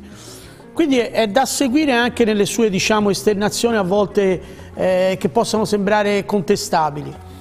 Nella partita di domani sicuramente lui sa delle difficoltà che eh, la sua Roma troverà perché Mourinho non è uno che fa catenaccio, Mourinho gioca, la Roma gioca, quindi la Fiorentina quando trova le squadre che gli lasciano comunque degli spazi va, eh, diciamo, riesce a giocare il suo calcio migliore. Quindi io mi aspetto una bella partita, però se devo dare un favorito dico che la Roma secondo me è favorita proprio perché, come tu sottolineavi, è una squadra che segna molto, ha due fenomeni, uno è Dybala, Dybala giocatore che ora come ora fa, il campionato italiano fa la differenza. Mi sembra che l'anno scorso proprio la Fiorentina eh, fu, fu, decisivo. e eh, messo insieme a Lukaku, insomma, sono due attaccanti che a una difesa che subisce tanto come quella viola, eh, sicuramente possono far molto male. Io sarei contento ehm, se la Fiorentina riuscisse a portare via un punto, però la vedo dura. Dico soltanto, la Fiorentina tanto non ha niente da perdere, parte sfavorita, deve andare lì con la testa libera. Fiorentina non, è, non sono quelle ehm, di domani le partite che deve vincere, deve vincere le partite con le piccole. Eh, Salernitana, Monza, Monza a parte non è una piccola, eh. diciamo squadre di più basso rango. Perché come dicevate poc'anzi, la classifica è corta. Se la Fiorentina riesce a non sbagliare le partite con le, con le squadre inferiori, Fiorentina può arrivare, non dico in Champions, perché molti ora parlano già di Champions dopo la vittoria della Salernitana, non scherziamo. Fiorentina se riesce ad arrivare in Coppa Conference, Europa League, anche un sesto posto, avrebbe fatto una grandissima stagione. Però deve concentrarsi a non sbagliare le partite con le piccole squadre. Con la Salernitana è stata perfetta. Eh. Ecco, Cagliari, Salernitana. La Fiorentina deve giocare come ha giocato con queste Però due squadre. Però ce ne sono due sole, eh? Cagliari e sì, Salernitana. Sì, è vero. Però, per esempio, col, col, con Lecce fu un approccio sbagliato. Certo, perché certo. sul 2-0, poi ecco perché ti dico, la Fiorentina domani deve andare lì con lo spirito libero, perché tanto se perdi a questa Roma ci può stare. Però, no, però per... posso dire una cosa, cioè, io sono d'accordo, eh, perché di solito, cioè, alla fine eh, le squadre medio-basse sono quelle che ti danno i punti, no? che fanno punti e fanno fanno classifica, a batterle dico. Però io, mh, siccome le ambizioni della Fiorentina non ti dico che siano ambizioni di Champions, però sono ambizioni eh, importanti, cioè la proprietà eh, vuole migliorare eh, quanto fatto la passata stagione. Per migliorare quanto fatto nella passata stagione, credo che ogni tanto qualche partita eh, contro una grande, ogni tanto insomma, una vittoria. Sì. Insomma, Ricordiamo stare, che sono no? arrivate soltanto contro Atalanta e Napoli. Esatto. Napoli però ci ha vinto anche Empoli a Napoli, eh? no, può per dire. e comunque, è comunque però una big. Prego, prego. Certo, è una big, assolutamente sì, però voglio dire, la Fiorentina secondo me, siccome spesso eh, in, in, questi grandi stadi, contro queste grandi squadre, gioca bene, cioè è vero, è quella squadra che domani va in campo senza avere niente da perdere perché è la Roma che ha l'ambizione di arrivare in zona Champions, è vero che la Roma gioca in casa, che la Roma è più forte, è vero tutto, però io non vado là per, per, dire vabbè me la gioco, tanto so che se vince la Roma eh, è, certo. è, normale, cioè io sono una Fiorentina, gioco bene e me la voglio giocare per provare a portare a casa punti. Però no, Michela... aspetta Maurizio, allora un attacco sì. pesante, quello della Roma con Lukaku e Dybala, una difesa in emergenza con l'infortunio di Smalling, mentre proprio del centrocampo ha parlato José Mourinho in conferenza stampa. Sentiamo le sue parole.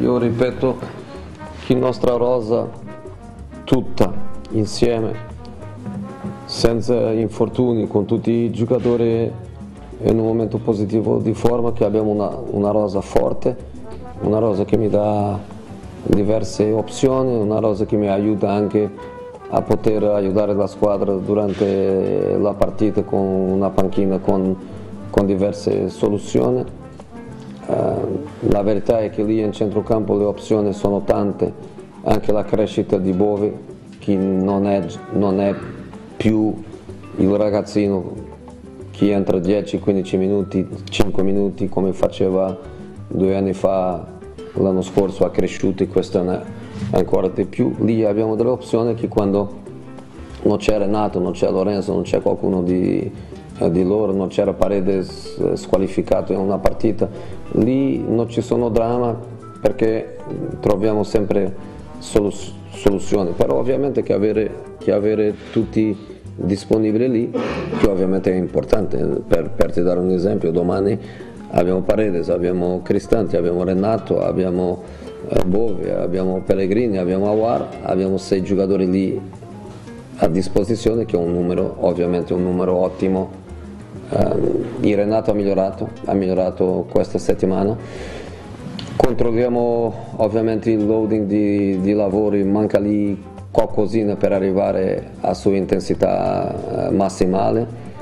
Lorenzo ha fatto un, una settimana di lavoro ottima, anche con buon lavoro supplementare. Quel gruppo di giocatori lì siamo, siamo a posto, però tante partite, tante partite importante, dopo gennaio, inizio gennaio subito Coppa, eventualmente un, una seconda partita di Coppa se vinciamo la prima, è tutto lì, ovviamente che abbiamo bisogno di tutti i giocatori per la nostra difficoltà ovvia, chiara, e difficile, e difficile nelle settimane passate e nelle prossime settimane è lì dietro con i difensori centrali, ovviamente con Di chi, chi parte sarà ancora più difficile.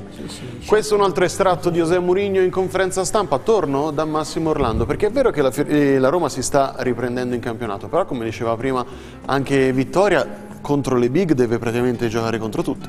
La Roma eh, diciamo che ha 24 punti, 25? Sì, 24. 24 punti neanche meritati, se dobbiamo analizzare neanche tutto. Neanche meritati? No, neanche meritati, perché ha vinto tre o quattro partite all'ultimo secondo, ribaltandole e quella è una caratteristica, una forza. Poi se tu mi dici che è una squadra potenzialmente da quarto posto, sono d'accordissimo, però se andiamo a vedere fino ad ora, ora lui ha sempre scaricato su, sui tanti giocatori che sono mancati, è vero, ma questo più o meno nel calcio moderno succede quasi a tutti tranne che ha una squadra che sta simpatica alla vittoria. Ma eh, no, dico, tranne alla, eh, c'è solo l'Inter che, che grazie a Dio per loro hanno dei giocatori che fisicamente stanno sempre bene e vuol dire tanto poi alla fine no? certo. nel, nel, nel, nel giudizio finale. Dunque per me la Roma è una squadra che può ambire al quarto posto, però devo dire la verità, ha, ha, avuto un calendario fino adesso, le partite che ha citato la vittoria sono partite tostissime. Eh? Dunque il campionato da Roma secondo me a cavallo da, di fine andata e inizio ritorno si decide per la Champions. Continueremo a parlare di Roma-Fiorentina, adesso però ci fermiamo, eh, rimanete con noi perché tra poco arriverà il momento delle pillole di Pollina.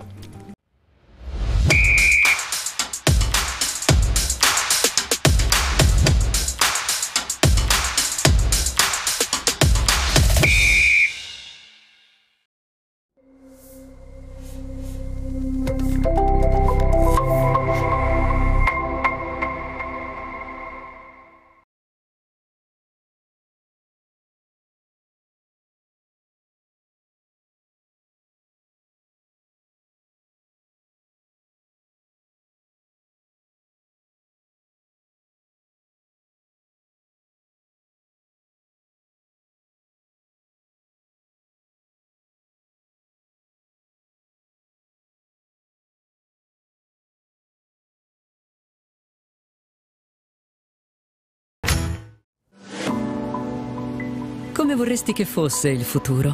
Lo abbiamo chiesto a chi dovrà viverlo e costruirlo giorno per giorno. Noi di Estra ascoltiamo questi desideri e li trasformiamo in progetti, chiedendoci quale pianeta vogliamo lasciare alle nuove generazioni. E la nostra risposta è quello che vorrebbero. Si può fare una poesia che parli di risparmio ed energia. Scopri come sul sito bilanciodisostenibilità.estra.it. Sono iscritto in FIOM per essere consapevole dei miei diritti e farli valere. Perché la condivisione e l'unione di coscienze hanno un valore immenso. Perché il senso civico è al centro della nostra battaglia. Sono iscritto alla FIOM perché mi piace stare dalla parte giusta. Perché insieme possiamo fare di più. Ho scelto la FIOM per difendere i miei diritti e dare voce alle mie paure. Perché è lotta, resistenza e ostinatamente antifascista. Campagna di tesseramento FIOM CGL. Unisciti a noi.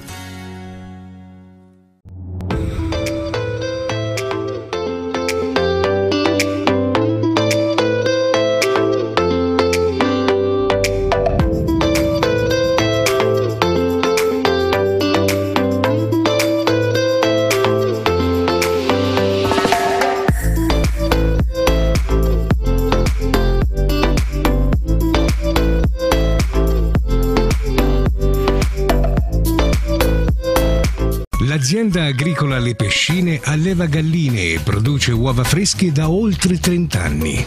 Uova prodotte da allevamento a terra, all'aperto, per avere la bontà in tavola ogni giorno. Nello splendido territorio di Poppi, azienda agricola Le Pescine, l'uovo del Casentino. C'è l'influenza da principessa.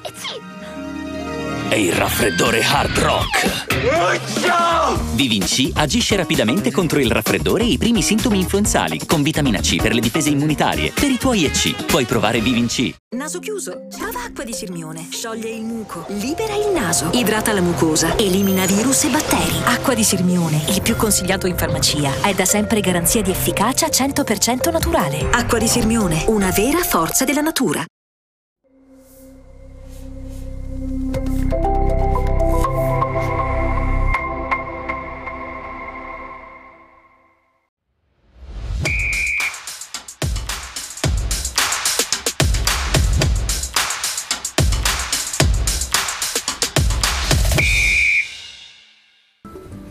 E come vi avevamo anticipato e promesso è arrivato il momento delle pillole di Pollina.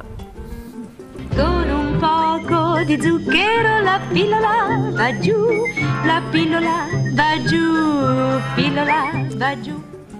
Allora, Vittoria, questa sera e Giulio, stasera poniamo tre pillole, due amare, ma soprattutto la prima, a quei presidenti di calcio che pensano di poter fare tutto da solo. A chi mi riferisco? Mi riferisco ai Napoli, ma anche a altre squadre dove il presidente ha detto che se ne frega se va via l'allenatore, va via il direttore sportivo, tanto faccio da solo, i contratti li faccio da me. Ecco, il Napoli ha fatto, il presidente del Napoli credo che abbia fatto un danno al Napoli economicamente quasi irreparabile. Meno male i soldi li mette lui, perché è una squadra che giocava bene, con dei giocatori che non, non si riconoscano più, cioè se io guardo i giocatori del Napoli quest'anno dico questi sono giocatori buoni ma non eccelsi, l'anno scorso sembravano dei fenomeni anche in Cerchio, tutto questo per colpa di un presidente, ma ce ne sono molti presidenti in Serie A che ragionano così, che pensano di fare tutto da solo, li potrei citare tantissimi, questo è, è il danno del calcio, il calcio è una cosa seria, ognuno deve avere il suo ruolo, perché se non hai il suo ruolo fai dei danni che talvolta diventano veramente irreparabili. La seconda pillola è il campionato, il campionato entra nella fase importante secondo me, dopo la quindicesima fino alla fine del girone d'andata si comincia a delineare chi lotta per lo scudetto e chi naturalmente per le posizioni in Europa. Ora potrei dire stasera con la sconfitta del Milan che è un'altra squadra, un'altra grande che batte un'altra bella boccata perché si allontana, ma non solo, eh, ormai mi pare a parer mio che ci sono due squadre, l'Inter superiore a tutti e la Juve che cerca di rimanere attaccata per tenere il campionato vivo, il resto sarà un campionato di mezzo dove lotteranno 6, 7, 8 squadre per andare in Europa, poi vedremo se l'Europa è quella che conta o quella che conta meno, ma mi pare che il campionato ormai sta dando una sentenza, L'ultima pillola è la Roma, la Roma l'abbiamo affrontata, ne avete parlato tutti. Io ricordo che dicevo all'inizio del campionato, chi segue un po' il calcio, che la Roma ha grande, un grande organico, dopo quello dell'Inter lo ritengo organico più completo. Certo ha dei giocatori che soffrono di infortuni o meno, ma vorrei ricordare che questa Roma, se non fosse partita male nelle prime 4-5 partite dove ha perso 3 su 4 partite che ha perso, questa Roma sarebbe lassù in cima e potrebbe fare paura a tutti perché ha un allenatore che è un grande in assoluto, copre tutto, fa direttore sportivo, fa il portavoce, fa tutto e questa Roma secondo voi, secondo me, eh, io penso che affrontarla è difficile per tutto, compreso la Juve e l'Inter. Queste sono le pillole di questa sera, dove la vera sorpresa può diventare il giorno di ritorno a Roma. Allora andiamo per ordine, iniziamo dalla prima pillola, quindi dal, dal protagonismo di alcuni presidenti, hai fatto riferimento a Aurelio De Laurentiis, eh, chiedo Massimo cosa ne pensi appunto proprio di questo da protagonismo da parte delle presidenze, mi viene in mente il, la famosa frase di De Laurentiis, sono io il vostro Cavani. no, no, è giusta l'osservazione di Angelo su, sui presidenti che specialmente questi presidenti che, che pensano delle volte di essere più bravi dell'allenatore, del giocatore, del direttore sportivo che è fondamentale eh, no, eh, in una squadra. Perché facciamo un esempio molto veloce, la Juventus l'anno scorso aveva eh, difficoltà eh, per le, la, eh, la, situazione societaria, Allegri che doveva gestire tutto lui, quest'anno gli hanno messo giunto lì che comunque ti dà una mano, parli anche di calcio, anche di tattica, ti confronti, no? dunque ti sostiene. E devo dire sul fatto di De Laurentiis che comunque chi, chi è tifoso del Napoli lo deve ringraziare perché al di là di simpatia e antipatia comunque ha portato risultati, ha, ha dimostrato che appena un presidente vuol fare di testa E, insomma, eh, Spalletti due mesi prima aveva capito tutto e ha detto io me ne vado perché qui si vince ogni 33 anni e ripeto, si diventa molto Però se n'è difficile. andato da protagonista. Però, assolutamente, è stato bravo e, e comunque è brutto vedere il Napoli che dopo 14 15 giornate è a 15 punti di distacco, però un po' quello che è successo al Napoli l'anno scorso. no? Eh, secondo me il vero merito è che Spalletti l'anno scorso ha, ha trovato un gruppo, una squadra, un'alchimia che difficilmente ritrovi e- ed è venuto fuori uno scudetto perfetto. Non è che Massimo aggiungo solo una piccola cosa. Vedi, tu hai toccato dei punti fondamentali, ecco perché l'ho posti stasera. Giuntoli non solo gli ha trovato giocatori importanti da andare a scovare, ma anche nel rinnovo dei, dei contratti dei giocatori. Che lui pensa di fare il padre padrone. E alla fine va a finire male questa roba. Perché alcuni giocatori che l'anno scorso poteva vendere bene, io penso che non li venderà più a quelle prezzi. No, fra l'altro, eh, aggiungo, eh, sta creando eh, molta scontentezza in, in, eh, spogliatoio perché Kvaraschelia, no? Ok, ha fatto un anno, però è un campione. Poi puoi dirmi sopravvalutato, per me è un campione. Non puoi a un giocatore così lasciargli un contratto a un milione di euro. Questo glielo devi adeguare come i giocatori veri, perché, perché è così che funziona. E invece lui ha detto: No, io ho tre anni di contratto, penserò più avanti. E lo perdi. Lo perdi. Lì è un errore del presidente. Prende più mina di Carasone. Ma prende più Ostigard. ma, ma- bravo, ma secondo te Ostigard, tu sei in spogliatoio, sei Kvaraschelia e dici guarda Ostigard guadagna più di me. Ecco Maurizio, parlando del Napoli, immagino che tu ieri sera abbia visto la partita Sì, contro la l'ho Juventus. vista, l'ho vista, l'ho vista. E, diciamo, come dicevo a inizio trasmissione, è impressionante la, la Juventus in difesa, non è una novità, ma io ho proprio visto Alle- Allegri e maniacale, spesso ri- richiamava i giocatori, proprio andare in marcatura su... non ti faceva praticamente mai avanzare, Vara ne saltava uno, era costretto poi a tirarla indietro perché aveva subito due giocatori che l'aggredivano e qui bisogna fare i complimenti ad Allegri.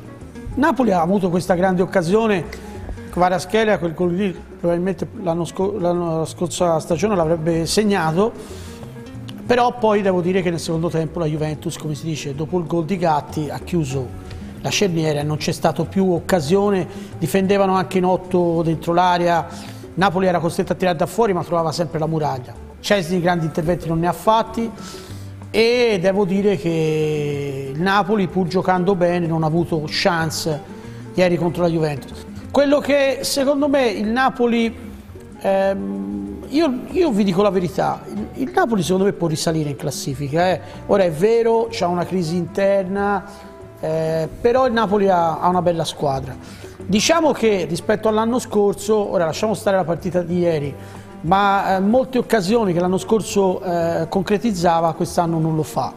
Però il Napoli, secondo me, se Mazzarri riesce a tirare fuori un po' dai giocatori quella grinta, quella determinazione che l'anno scorso eh, l'avevano portato a vincere il campionato a mani basse, non dico che possa inserirsi fra le prime, però è una squadra che sicuramente risale, perché i giocatori li vai a prendere No, uno ma per come uno. qualità sono perdonami bravi. sì, però perderanno eh, Osimen a E gennaio. Per la Coppa Ah, per la Coppa d'Africa. Poi dopo eh, tu hai perso Kim. Kim ti permetteva di giocare con una difesa altissima, recuperava tutte No, le Kim palle era di testa, bravissimo, eh, forse tutte le stato- palle di testa erano sue. Napoli quest'anno per l'amor del cielo, sono d'accordo con te, se vai a vedere poi la rosa, c'hanno Raspadori, c'hanno Simeone, c'hanno delle- dei giocatori interessanti, però è anche un po' l'annata no. Lui ha creato un ambiente poco sano, Esatto. No, no, il presidente. Eh. De Laurentiis è d'accordo.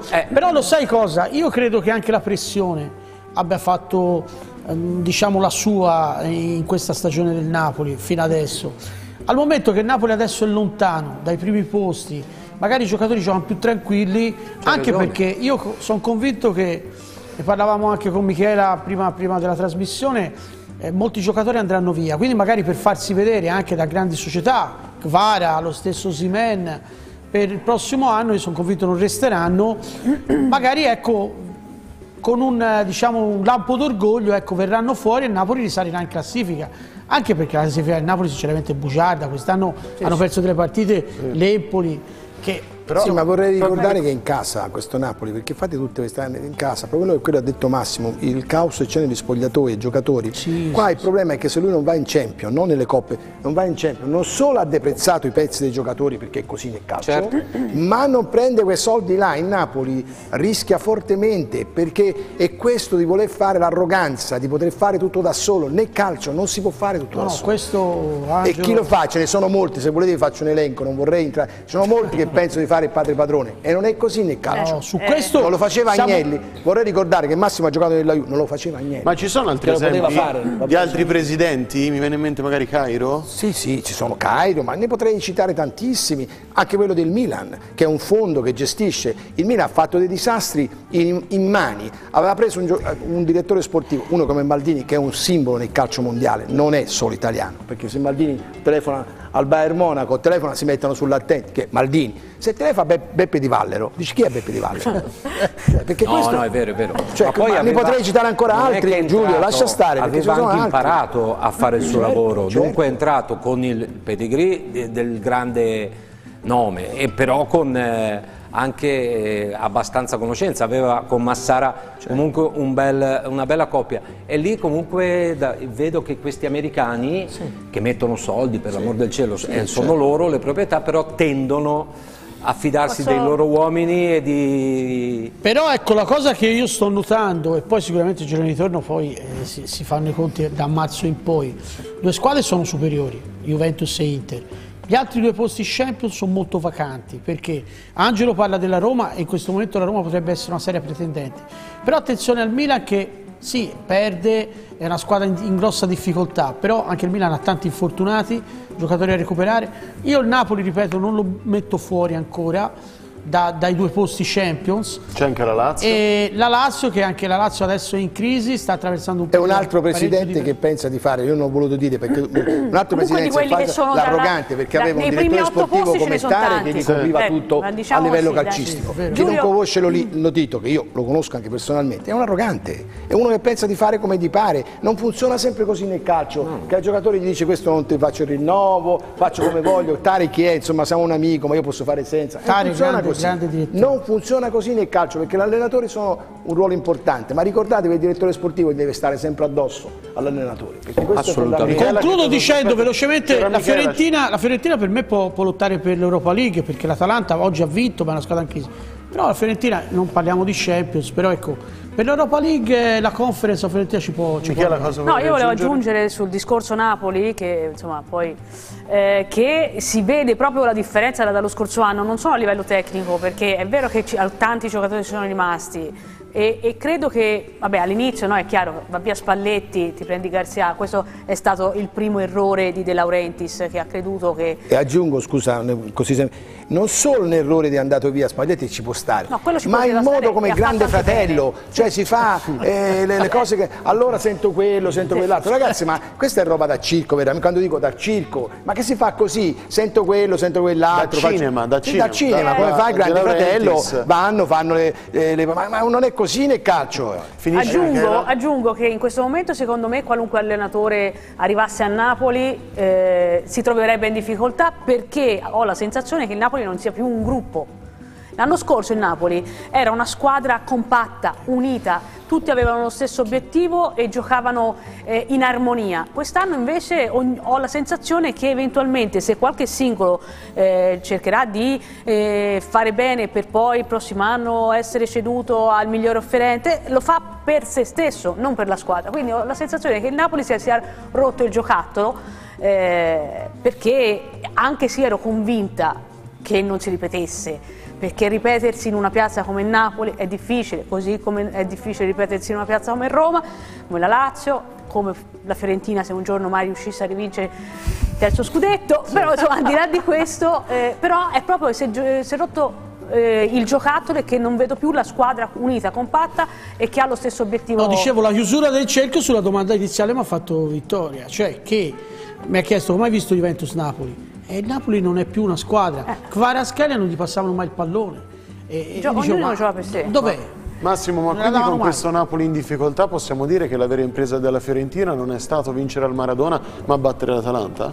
Sì, sì, assolutamente. Eh, Ora, il Napoli ha perso tantissime partite in casa, si, costruisce tanto, si vede, è chiaro che è l'annata anche no, però eh, la Fiorentina ha fatto l'impresa a Napoli e poi dopo ha fatto l'impresa anche con l'Atalanta che era una partita fra l'altro dove l'Atalanta stava dominando, ma l'Atalanta è, è, sempre una grande squadra, quest'anno ha tanti problemi di, però con gli infortuni, ora si è rotto Scamacca, però voglio dire lì davanti, a parte De Catelere che anche oggi mi sembra sia stato praticamente eh, Lukman eh, gli entra Muriel, cioè, sono giocatori di altissima qualità. Dunque l'Atalanta sarà sempre, secondo me, almeno fino a quando ci sono questi giocatori, sarà sempre pericolosa. Però la Fiorentina ha una grande chance. Eh, ragazzi, se tu stai lì, lì, lì, io non ti dico della Champions perché è chiaro che deve succedere no. qualcosa, però dal quinto al settimo posto la Fiorentina ci, deve crederci. Ecco Massimo, eh. come cambierà il campionato quando eh, alcune squadre italiane inevitabilmente eh, non andranno avanti in Europa? Cioè cambierà il campionato? Eh, cambierà sì, eh, ora tanti elogi alla Juventus, più che giustificati però gioca una volta alla settimana, è anche facile così. 4-0 dell'Udinese, ecco. su dell'Inter contro l'Udinese. È anche facile per la Juventus che ha dei giocatori fisicamente straripanti, che dominano e, e, giochi una volta alla settimana con l'allenatore che può preparare per tutta la settimana è veramente diverso. Eh. Se la Juve avrà la forza di non perdere punti, stare attaccata all'Inter, poi dopo l'Inter prima o poi un momento di calo lo avrà. Stesso discorso vale per il Milan.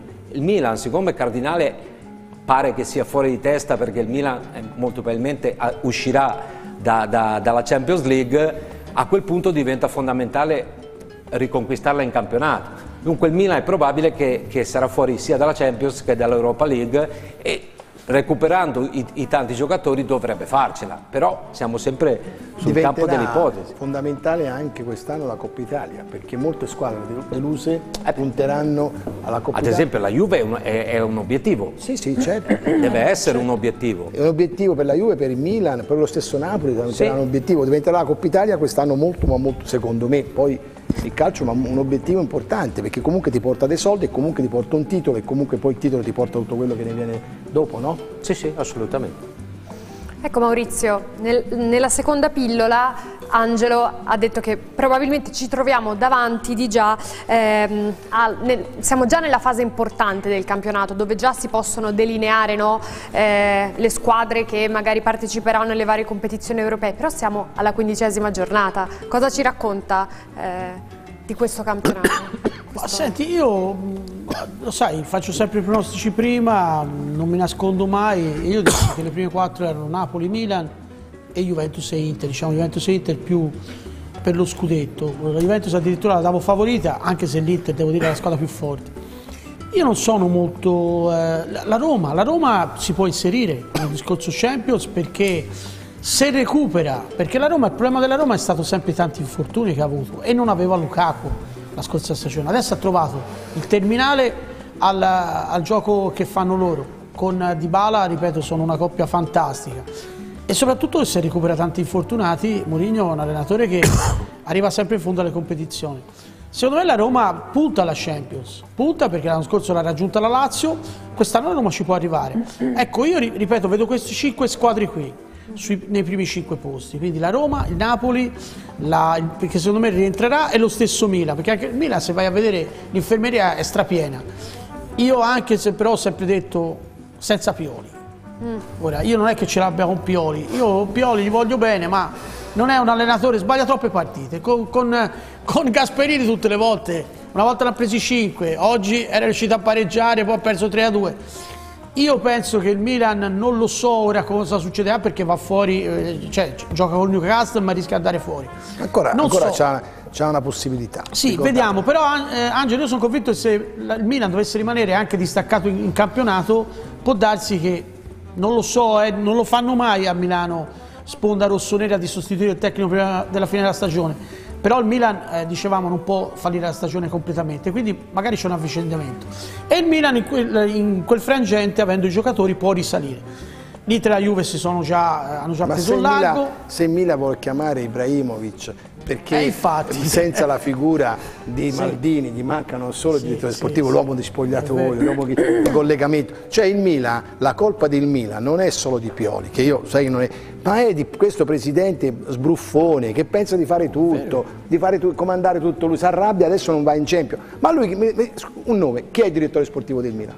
Scommetto la, la grande massa della gente non lo sa, perché è arrivato Maldini, io lo chiamo Beppe Di Vallero, perché Beppe Di Vallero è un nome così toscano, Certo. dice, ma, chi, ma chi è? Cioè, questo è il vero problema di Milan, che c'è Cardinale che l'americano ogni tanto viene, comanda, ma in Milan hanno dato male a, a Pioli da solo, Pioli è da solo, l'anno scorso è riuscito Cioè, a l'Inter, l'Inter a Marotta. Eh, certo, bravo. dire, cioè, A Marotta, cioè, Milan si affida a Moncada e a Furlani. Moncada e a Moneyball. Sì, vabbè. eh, Sì. Come si Capisci? chiama? Sì, Gli no, no, algoritmi. ma quando tu dai tutta la responsabilità a Pioli, come l'anno scorso No, ma infatti Pioli ha delle giustificazioni perché è solo. È solo, che È deve solo, fare? non parla L'anno con scorso nessuno. Bravo, l'anno scorso aveva Ibrahimovic, aveva Maldini, Eh, Ibrahimovic Ibra. faceva la spogliatoio. Maldini tutti i giorni era lì. Lì. eh. Cosa, Maldini cosa è stato sbagliato secondo te Massimo in questo mercato? Troppi stranieri che non conoscevano il nostro Ma, campionato? eh, ma comunque l'intervista che ha fatto Maldini dice non è che ci vuole eh, l'algoritmo per scoprire Reinders, eh, eh. Cheek e, e, e Pulisic. Ha ragione, voglio dire. Ora,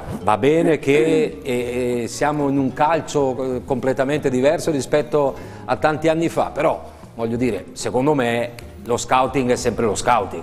È troppo importante andare a vederli i giocatori. Ora, il Milan con Maldini gli dicevano davvero non si può spendere, poi quest'anno ha speso 80 milioni. Cioè, eh, evidentemente la figura di Maldini dava fastidio a livello, come no. a livello di immagine, ti portava via spazio. Perché, Però- perché il Milan era Maldini, non Cardinale. Cardinale perché non non- allora, la Juve non vuole. Del Piero, perché non lo vuole. La Roma non vuole Totti, La Fiorentina vuole. non vuole Battistuta? Le- non vuole Battistuta Non vuole Antonioni. E, e Antonioni. Voglio dire, ora non che tutti debbano fare i dirigenti, perché non, non è che ti è dovuto niente, però secondo me l'immagine di un grande giocatore, come può essere stato Maldini, eh, quelli che ho nominato, delle volte in spogliatoio, anche i giocatori, se vai a parlare, ti ascoltano. Certo. Però Però comunque Massimo- sei uno che non vai lì per, per- per fare polemica, dici le cose giuste. Io, io il. Milan, diciamo, a ranghi completi non l'ho mai visto. Il Milan a me è una squadra che quando giocano è impressionante. Ma no, ma giocano bene. Perché sono velocissimi, prendono la profondità. Una squadra, guarda che anche con la Juve a San Siro Fa una ora c'è parata stata a Szczesny, quell'espulsione poi- e infatti, ma guarda che il Milan se gioca eh, co- come sa e, e gioca con la squadra al completo, il Milan secondo me è una squadra che fra i primi Ma quattro sono può stare d'accordo con te, fra l'altro il Milan esce purtroppo, dico purtroppo perché stiamo parlando delle italiane, esce eh, quasi sicuramente dalla Champions che meritava in casa col Newcastle e col Dortmund, a Dortmund meritava 4 punti in più, sarebbe passata, dunque gli è girata anche male, perché il Napoli trova un girone Union Berlino, Braga e, vabbè, e Real Madrid, la Lazio non so neanche io come ha fatto a passare, io le ho commentate le partite, anche col Celtic non meritava per niente di vincere. Dunque al Milan gli è girata male, però Pioli mi dispiace perché al di là che lui ha vinto un campionato chapeau, perché alla fine ha vinto il campionato con una squadra che non era assolutamente la più forte, Pioli adesso è, è solo. E quando sei solo è difficile gestire una piazza come quella. Quindi ripeto, concludo la domanda di Vittoria, vedo queste cinque squadre, Eh, le prime due fanno un campionato a sé, per eh, gli altri due posti Milan, Napoli e Roma. Maurizio, preparati perché tra poco arriva il tuo momento, vogliamo sapere quanti Devo mettere confusione giocatori a cambierai nella probabile Tutto, tutto. formazione perché tra poco vediamo il possibile È il suo 11 momento, momento. Italiano e Mourinho per la sfida di domani, ultima pausa e poi torniamo.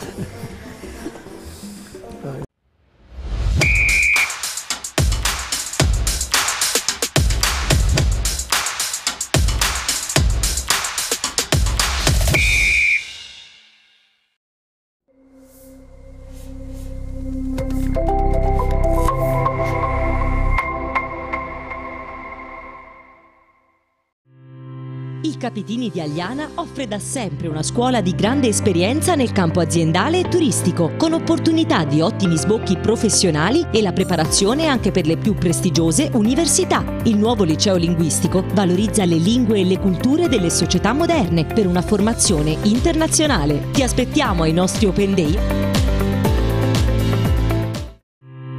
Grazie alla nostra competenza tecnica mettiamo a disposizione tutta la nostra esperienza e professionalità per supportarvi ed assistervi durante il percorso volto ad accedere al cosiddetto super bonus con detrazione del 110%. Dagli impianti elettrici agli speciali, dall'efficientamento energetico passando per le infrastrutture di ricarica di veicoli elettrici e wallbox, CEC System è in grado di fornire il giusto supporto per ogni esigenza di privati, imprese e condomini. Contattateci per informazioni. La ditta Traversi Romano si occupa della raccolta, recupero e stoccaggio al coperto di rottami ferrosi e non di ogni tipo. Le aziende possono conferire i loro scarti metallici direttamente da noi oppure usufruire del nostro servizio di comodato gratuito sui container. Non solo, ci occupiamo noi di tutta la documentazione necessaria e del rilascio dei certificati a norma. Siamo della ditta Traversi Romano di Settimello che commercia in rottami. Siamo lieti di accogliervi in sede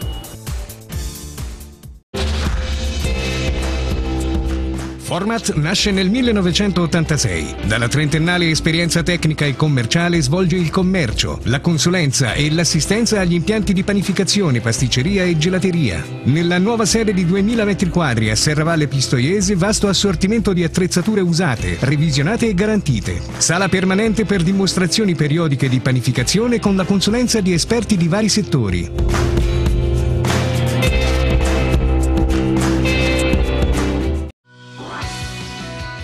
Santi Diva Sport, sotto i portici Gambrinus a Montecatini Terme. Le maglie ufficiali, sciarpe, palloni, borse, linee a scuola, portachiavi e tantissimi altri gadget ufficiali.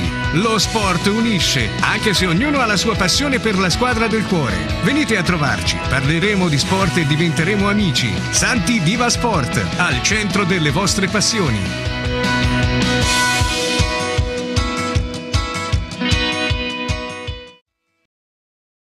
Firenze si festeggia il Natale. Torna il prestigioso e storico mercato di Natale tedesco di Piazza Santa Croce. Dal 18 novembre al 17 dicembre. Un villaggio natalizio con tante idee regalo. Per informazioni visita il sito www.mercatoeuropeo.net slash Natale Santa Croce o seguici su Facebook.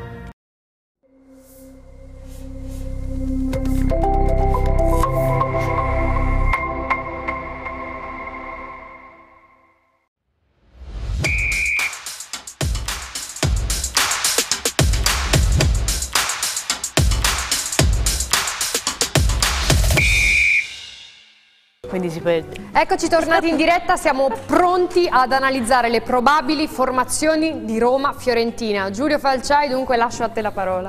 Grazie Vittoria, vediamo il possibile 11 di italiano contro i giallorossi. In porta dovrebbe tornare Terracciano dopo aver visto appunto Christensen in Coppa Italia. Difesa 4 formata da Caiode, Milenkovic, Quarta e Biraghi. A centrocampo tornano i titolari dal primo minuto, ovvero Arthur e Duncan. Sulla destra se Gonzales sta bene sicuramente giocherà. Sulla sinistra potrebbe esserci la conferma di Sottil visto l'ottimo rendimento. Bonaventura che tornerà sulla tre quarti mentre là davanti al momento sembra essere in vantaggio nel ballottaggio della punta, ovvero Lucas Beltran. Togliamoci subito il dente, partiamo da Maurizio Canino. Quanti ne cambia di questi? Problema, eh? Si perde perché non cambia nessuno. No. No, invece un, Qualcuno cambia, io qualcuno per esempio Biraghi lo cambio. Biraghi viene Biraghi con, con gli esterni della Roma lo vedo in grande difficoltà sul, sulle ripartenze soprattutto perché se ti prendono la profondità gli esterni della Roma sono micidiali, fanno male. Quindi Biraghi che solitamente eh, va, eh, a, si alza per crossare se prende un'infilata, perde il pallone o c'è comunque un cambio di fronte può andare in grossa difficoltà, Mourinho questo lo sa eh. e Sottil io non lo so se, se verrà schierato o meno. Certo le ultime due partite eh, l'ha fatte bene però magari io proverei a giocare diversamente, metterei qua me Beltran attacco leggero e con Gonzales e Bonaventura, ripeto, Gonzales non sappiamo se, se, è in forma, Bonaventura e Arthur non si toccano, Duncan secondo me va molto bene, e cambierei solo Biraghi e Sottile, io magari lo farei entrare a partita iniziata. Mm, partirei con Quame. Quame fa un po' di confusione, un po' tatticamente un giocatore che va anche a dare noia, no? spesso in, in, fase difensiva. E la Roma magari con un giocatore così che, diciamo io lo chiamo un guasta, guastatore, no Quame. Ecco, Quame con Beltran che magari si scambiano Chissà, io proverei così. Biraghi io non lo metterei, metterei Parisi a sinistra nel suo ruolo e Caio Dea a destra. Angelo, quindi con solo due cambi eh, su No, io 11 non- vuol dire sai che sconfitta? non, non entro mai, però mi faccio una domanda, la faccio anche a te Giulio. Mm. Ma Ranieri, come che c'ha questo ragazzo che era diventato bravissimo, non, non lo vede più? Per esempio, ma anche qui si va per logica, non parlo di tattica perché qui ci sono quelli più bravi che possono parlare, io non entro mai sulle formazioni che l'allenatore allena la settimana, lo vede da sé, non, non v'è dubbio. Però per- per- se, se mi chiedete di analizzare gli attaccanti della Roma, io vedrei molto bene Ranieri su, su Dybala perché Quarta in aria non sa difendere. C'è poco da fare. Quarta è un grandissimo giocatore, fatica in area di rigore. Allora, siccome Dybala è uno dentro l'area di rigore che ti fa male con quel sinistro, cioè vedo uno come Ranieri che glielo, glielo attacca addosso dentro e più addosso. O no? No, È una valutazione. Io, io, eh. Angelo, guarda, io Mi viene Ranieri, fatta questa domanda, cerco di, senza voler entrare io nella non testa ho del parlato allenatore. di Ranieri, Angelo, per questo semplice motivo. Vedi no, che no, Giulio tu hai, fatto una, stuzzicato, una, una cosa ineccepibile. Hai trovato il terzo campo. È stato, è sparito, è sparito, non si sa perché. Io, per me Ranieri gioca sempre. Come centrale Ma anche per sempre. le caratteristiche di- dei giocatori della, della Roma, eh, siccome in area di rigore, ti ripeto, secondo me eh, che Quarta è un, un bravo giocatore ma dentro l'area non sa difendere, perché eh, ha delle difficoltà, si vede, delle amnistie dove la Fiorentina prende gol, Ranieri attac- attaccato a Dybala, io fossi allenatore ma non faccio questo mestiere, lo metterei perché... No, no, fra l'altro ti dico, il ragazzo quando è entrato eh, mi è apparso anche un po' nervoso, Sì, fa sì. degli interventi, Spesso, dunque eh, eh, Si la fa sta un po' sentendo questa poca Ma vedi, fiducia. Massimo, Eh, perché sai, io critico per questo eh, spesso Italiano sulla fase difensiva? Perché lui Quarta lo utilizza come centrocampista attaccante, Sì, sì. ma lui si sgancia, Sì, sì. Quarta non fa, non fa il difensore. Perché Sono allenatori Ne moderni, combina di tutti i colori. Sono allenatori Sì, ho moderni. capito, ma si Eh, difendi con uno con la Roma, lasci solo Mi- Milenkovic in difesa, perché Biraghi in difesa non c'è mai, quindi sale. Chi difende? No, però ti Cioè, voglio chi dire, rimane in difesa? quando abbiamo Cioè, non c'è detto, nessuno. quando abbiamo detto eh, sarà un casino, Ranieri è un difensore. sarà un casino per il dopo Mourinho Eh. a Roma, sarà un casino anche per il dopo italiano qui. Perché non vedrai più quel bel calcio? E allora tu dirai, è chiaro che sono i risultati poi no, quelli che contano, Certo. però siamo abituati a vedere una Fiorentina, la critichiamo, stiamo qui, analizziamo, però alla fine te la giochi sempre con tutti. Ora te magari hai un altro modo di vedere calcio, però il calcio moderno è questo. Allora io ti dico, a me piace il calcio spettacolare, però poi si torna sempre lì. Quando vedi ieri che in Napoli eh, noi vabbè, abbiamo vinto. Ma con la Juve non puoi dire. far calcio. Però, però, eh, però ragazzi, poi siccome qui non si vince a troppo tempo, vorrei vincere qualcosina anch'io. Allora dico, il mio Vangelo, il mio credo lo scredito e dico, ascolta, non mi interessa giocare bene, però voglio vincere qualcosa. Anche una Compiuccia Italia, Compiuccia Italia. Ma ci che sei non è più tanto arrivato, sei stato eh, sfortunato, hai giocato bene con l'Inter, e e ti è andata male col West Ham, però dai, i risultati sono arrivati, dai. Perché per esempio Angelo tante volte diciamo la Juve gioca male, sì ma fa risultati e alla fine conta quello. Allora alla ma a me non mi citare, magari... scusa, a me non mi citare gioca bene, gioca male, perché io sono differente dal buon modo di vedere il calcio, perché se a me mi dite gioca bene una squadra che fa 70 passaggi, io vi dico che per me è una roba da circo. No, però- Per me il calcio, per me il calcio, il mio modo, così te lo spiego nell'ennesima volta. È che è bravo tatticamente. Il calcio è bello quando tu guardi una squadra che tatticamente non ti fa passare, non ti fa tirare in Però tu l'hai sempre Cioè, criticato il Allegri eh, per il modo di giocare. No, ma per l'amor del Angelo, cielo. tu l'hai sempre criticato Allegri, a te non è mai Certo, ma piaciuto. lo critico Allegri, lo critico Però perché poi fai risultati. faceva l'arrogante da solo e perché mancava faceva, comandava tutto lui, parlava in questo. A me questo non mi sta bene nel calcio in una società. E perché la, la storia del Però Comunque ragazzi giocano una volta alla settimana, ripeto, vuol dire tanto. Eh, io lo eh, dissi vuol dire subito. Vuol dire Lo dissi tanto. subito eh. Questo. Vuol dire, Però- vuol dire non avere mai, insomma, Ripeto, italiano sì, sicuramente hai vinto tre partite al 97esimo, vuol dire tanto, eh. Italiano dire. però c'è da dire una cosa, gioca bene quando trova le squadre che, che lo fanno giocare, quando trova le squadre molto chiuse la Fiorentina non, non trova mai sbocchi e quindi lì cioè, diciamo che io un pochino questa cosa l'ho rivista su Italiano, cioè nel senso bravissimo contro le squadre che fanno giocare la Fiorentina, quando trova le squadre che non ti fanno giocare va in grossa difficoltà. Ora io spero che domani la Roma giochi a viso aperto, però ripeto, Non Ranieri, gioca a viso aperto, non gioca a viso e aperto. allora perché- sarà ma- un problema, ma- ma perché Quarta se- si sgancia, Biraghi si sgancia, chi Nessuno difende? ha messo in dubbio la punta. Voi schierereste quindi Beltrán, per Beltrán, la difesa Beltrán, della Roma? Beltrán, sì, Sì, tutti sì, anch'io lo, lo schiererei perché con la difesa della Roma Tra l'altro proprio all'Olimpico ha fatto un gol bellissimo fuori, anche se gli è stato cioè, eh, se parliamo, se ti può- Beltrán credo che sia uno che ti può portare fuori, porta fuori Mancini, Mancini è più uno- un uomo d'area di. Mancini domani lo ammoniscono perché eh, Eh, eh, domani, domani, secondo me alla partita legge c'è dei grandi numeri. Domani quei tre, quei tre davanti io non li cambierei perché sotto i giocatori che se stanno bene sia Sottil con Gonzalez ti possono far male. Alla, Assolutamente. Fiorentina- alla Roma Ora, male sull'idea di come potre- potrebbe anche avere eh, qualche... Sottil magari inserire la partita No, no, in corso. Ma potresti anche avere ragione, però delle volte si deve sfruttare i momenti dei giocatori Eh, e certo. dunque Ora Sottil eh, eh, Sottil bene. gioca anche per quello, è giusto dare continuità. No, L'importante è poi credo- che ci sia il numero 10 e il numero 5 poi. Bravo, Eh. tanto sono loro quelli Esatto. che possono fare la differenza. ne- Diciamo l'ossatura Gonzales, Bonaventura, Artus sono questi tre giocatori Eh, che Comunque domani verrà ammonito anche chi marca Dybala o Dybala, come lo volete chiamare. Cioè, quel cartellino giallo mettetelo già in conto perché... Speriamo che non sia ammonito invece Bonaventura che ricordiamo essere diffidato. Ah, diffida? Eventualmente, esatto, salterebbe la gara Però contro col- col l'Ellas Verona, Verona. cioè che non è facile. Io però- direi di passare. Esatto, con la formazione invece della Roma, il probabile 11 invece di José Mourinho. Con l'aiuto della grafica vediamo Rui Patricio tra i pali, Mancini, Llorente Ah, e io Indica per quanto riguarda la difesa, Karsdorp, Cristante, Paredes, Pellegrini e Spinazzola, i 5 di centrocampo. Là davanti nessun dubbio, giocano Dybala e Lukaku. Massimo. Senti, gli esterni, loro, eh, eh, i quinti, come si dice adesso eh, a centrocampo, eh, sfruttano soprattutto Spinazzola, giocano meno dall'altra parte perché Karsdorp, Karsdorp è comunque un giocatore... Eh sì, faccio fatica ogni volta. E è un giocatore che si inserisce meno, ha meno piede, crossa spesso addosso all'uomo, però insomma eh, eh, dei due centrocampisti, Paredes e Cristante, stanno molto a protezione della fase difensiva. Pellegrini è un giocatore che ha avuto tanti problemi, se sta bene comunque dà supporto alla fase difensiva.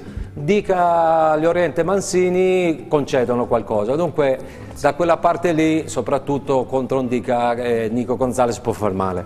Angelo? Sì, sono d'accordo che può far male da quella parte lì. E I giocatori pericolosi della Roma, secondo me, sono Pellegrini, Spinazzola, Dybala e Lukaku. Questi sono quattro giocatori Eh sì. che su quella fascia lì, soprattutto se Spinazzola sta bene, ragazzi, è uno che quando va a fondo non è solo che va a fondo, ma crossa bene, c'ha piedi da centrocampista. Sì, in più, in più da quella parte la Fiorentina in fase di non possesso c'è Sottil che deve andare a aiutare Eh, capito. E, e lì potrebbe essere un mismatch. Mentre in difesa sono d'accordo con Massimo, eh, può far male perché una cosa sarebbe stato se avessi giocato uh, Smalling che io ritengo che sia Smalling quando sta bene è è forte. un, gro- un grosso difensore ma in quella parte lì cede molto poi Mancini se lo porti fuori ancora se lo metti dentro l'aria è uno fisico uno forte ma se lo porti fuori ha ragione lui rischia di farsi ammonire eh. Sì, alla prima entrata, sì sì. Maurizio? Sì, sì, no, la Spinazzola io quando ora, ho avuto degli infortuni, ma anche il nazionale faceva la differenza. Mi ricordo all'europeo, quello vinto dall'Italia, Spettacolare, migliore, partite, spettacolare. era incontenibile. Eh, Pellegrini è un altro giocatore molto forte, Paredes è uno che dà equilibrio, perché Sì. sia nella fase offensiva che nella fase difensiva aiuta molto la squadra. Ripeto, Fiorentina, eh, come dicevamo, il punto debole della Roma in questo momento è dietro, la difesa. Quindi la Fiorentina deve cercare di sfruttare eh, quelle, quelle amnesie che la Roma può avere durante la partita, però davanti sono devastanti, hanno 4-5 giocatori eh, davanti la Roma Che poi veramente po- forte. possono arrivare E poi tutti al condizionano, condizionano le partite con questi atteggiamenti, Eh, con questo chiedere fin dal primo secondo. E sai, quello condiziona grande l'arbitro. personalità, Eh, Eh, sì, però qualche volta anche qualche cartellino rosso. voglio Dopo aver analizzato le probabili formazioni dunque di Roma e Fiorentina è arrivato il momento però di dedicarci ai nostri telespettatori con tutti i messaggi che ci sono arrivati insomma, eh, nelle- in questa, in queste ore, in questi ultimi minuti. Giulio Falciai? Sì, esatto, tantissimi messaggi che sono arrivati proprio sul discorso di Ranieri, ma chi lo marca di Bala serve eh, Ranieri e non Quarta. Avevamo Muriel e la possibilità di riscattarlo, invece andammo a prendere Boateng, Cutrone e Quamè. Ci vuole coscienza e competenza a fare calcio mercato, questo ovviamente è riferimento alla vittoria dell'Atalanta. Poi ancora ci chiedono, mi potreste aiutare a capire come questa Fiorentina possa passare da prestazione da Champions a partite da lotta per la salvezza, Michele? Qual è la prestazione da Champions? Non so, forse la Con la vittoria contro- con la Salernitana, sì, sì. Non lo so, ora. No, vabbè, eh, le Eh, ultime è due, una è sì. stata da Champions per come si è giocato. Sì, diciamo l'approccio positivo, giusto, con la Salernitana, eh, però insomma per me le vittorie del Champions sono altre. Detto questo, eh, dobbiamo cercare di eh, sfruttare il momento positivo, sei comunque hai vinto l'ultima partita in campionato, hai passato il turno in Coppa Italia e andare a Roma cercando di fare il meglio possibile e cercare di mettere in difficoltà la Roma, fare la, la tua partita e sono convinta che ecco, a Roma potresti fare anche una partita da Champions. Poi il risultato è un'altra cosa. E invece ancora, come vi fa piacere l'italiano? Massimo non fa mai un raddoppio difensivo, mai una sovrapposizione, solo voi gli date del bravo. No, allora io eh, dico che si eh, deve eh, valutare l'allenatore in base ai risultati. Eh, Poi ti può piacere o non ti può piacere. I risultati negli ultimi due anni e mezzo a Italiano sono arrivati.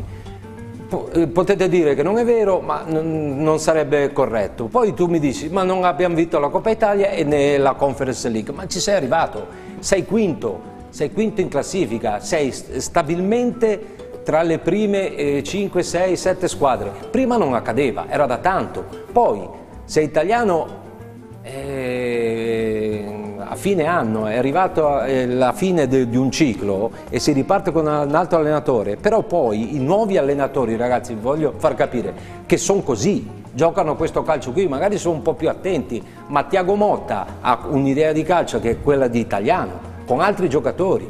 De Zerbi, questi giocatori sono uguali, con lo stampino vengono fatti. Francesco, Scusa Massimo, Montella, su una cosa devo... No, no, per me, Eh, per eh, Tiago Motta ha un'idea di calcio, ma Tiago Motta ha un'idea di calcio di come si difende. È una T'ho delle detto, te- t'ho la detto. terza difesa più forte del campionato contro i giocatori. Cioè Tiago Motta prima sistema la difesa. Ti ho detto, magari con, con un'idea di, di- di- di- di difendere migliore di quella che c'è italiano. Infatti gli abbiamo sempre contestato l'italiano prendi che, che lavora meno da quel punto di Ma io vista. infatti Massimo quando mi arrabbio eh, con la Fiorentina mi arrabbio per, per i gol che si prende. Certo. Perché si prende gol veramente delle volte imbarazzanti. Cioè, ti- un giocatore, due giocatori. Col Parma eri sempre in inferiorità. Arrivavano in 4-5 e te eri 2-3 giocatori in difesa. Questo non può succedere. Poi l'ho detto, l'unico difensore vero che la Fiorentina, l'ho detto tante volte, è Ranieri. Gli altri non difende nessuno. Perché anche Milenkovic rispetto al giocatore che avevamo visto negli anni passati no- non Ma è lui più- lavora di posizione perché spesso bravo, le- insomma, è, è, è tattica- è- c'ha esperienza. Sì, però, Allora, però esperienza. spesso si fa prendere filato. Vi devo interrompere, scusate perché Prego. dobbiamo dedicare un po' di tempo a una figura molto importante della storia della Fiorentina che purtroppo ci ha lasciato nella mattinata di ieri. Sto parlando di Luigi Milan, personaggio che ha fatto la storia della Fiorentina pur essendo stato a Firenze soltanto dal 60 al 62, ma ci ha raccontato tutto quanto anche il nostro Gabriele Calderon tramite un servizio. È scomparso un mito viola. La Fiorentina piange la scomparsa di Gigi Milan. Avrebbe compiuto 86 anni il 10 dicembre quando nel 1937 nacque a Milano in provincia di Venezia. È stato alla Fiorentina dal 1960 al 1962, un tempo breve ma che gli bastò per iscriversi nella Hall of Fame del Museo Fiorentino e di scrivere la storia viola. È stato protagonista della vittoria della Coppa Italia nel 1960-61 da capocannoniere con quattro reti all'attivo e soprattutto della Coppa delle Coppe della stessa annata, segnando da protagonista assoluto le due reti che consentirono ai Viola di vincere la finale d'andata in Scozia contro i Ranger di Glasgow, facendo nascere la leggenda dei Leoni di Ibrox. Una parentesi al Pontedera da giocatore e poi da allenatore ha visto le città toscane di Prato, Massa Carrara, poi la Real Cerretese ed infine la Rondinella nel 1990. Firenze non dimenticherà mai uno dei suoi leoni di Ibrox che portarono in alto il Giglio di Firenze con il viola. Indosso. Riposa in pace, Gigi, Firenze. Non ti dimenticherà mai. E ringraziamo Gabriele Calderon per questo splendido servizio. Michela? Beh sì, è stato un personaggio importante nella storia della Fiorentina, abitava tra l'altro anche vicino allo stadio, Sì. e spesso lo vedevamo al Franchi e poi insomma è uno, come ha detto Gabriele nel servizio, uno dei leoni di Ibrox, ha vinto la Coppa delle Coppe, ha vinto una Coppa Italia e per un giocatore della Fiorentina mi sembra che sia abbastanza visto che i trofei eh, Viola non sono tantissimi, quindi vincere due trofei in pochi anni che è stato a Firenze la dice lunga sul- sull'importanza eh, di questo giocatore, di questo personaggio e poi era simpatico a tutti, era, era amato da tutta Sì, sì, Firenze. è una bella persona. Sì. Un abbraccio alla famiglia, famiglia. perché veramente Molto un- buono, un, eh? un Veneto che Molto si è trasferito a Firenze, che si è integrato alla Fiorentina, amato, un grande dispiacere, veramente un abbraccio alla famiglia. Sì, assolutamente sì. Il giocatore ha fatto la storia. Ecco, era doveroso eh, ricordare questo Senti, io personaggio caro a tutti i fiorentini. Voglio uscire un po' da binari. Eh, siamo arrivati al- alla fine della Voglio fare i trasmissione. complimenti al Catanzaro. Se va questo gemellaggio, Catanzaro, forse Gemellaggio. Grazie Maurizio. Non so come ti sia venuto in mente in questo momento, catanzare. però grazie mille. Giulio Falciai, grazie anche a te. Grazie mille a te Vittoria, ma ringraziamo il nostro splendido studio, grazie a Michela Lanza, Grazie a voi, buona serata e buonanotte. grazie anche a Maurizio Canino, Grazie a voi. Grazie ad Angelo Pollina. No, grazie a voi ragazzi che sabato sera fate una compagnia, tutta la gente a casa lo vedo al commento mi scrive, sempre splendidi, belli, eh, puliti, e capaci, preparati. Io vi devo fare sempre i complimenti. È un piacere passare Grazie, sabato sera Angelo. con voi. E anche Io per non noi vi è un posso piacere. dare la buonanotte perché sono stato invitato a, vedere casa la Colombia alle tre. E c'è Mi- Mina alle, eh, alle, alle tre. grazie mille Dunque a Massimo porto le birre, buonanotte a tutti. Vi ricordiamo che domani sarà possibile seguire Roma-Fiorentina su Toscana TV con Giacomo Guerrini, Sauro Fattori, Stefano Cecchi e Roberto.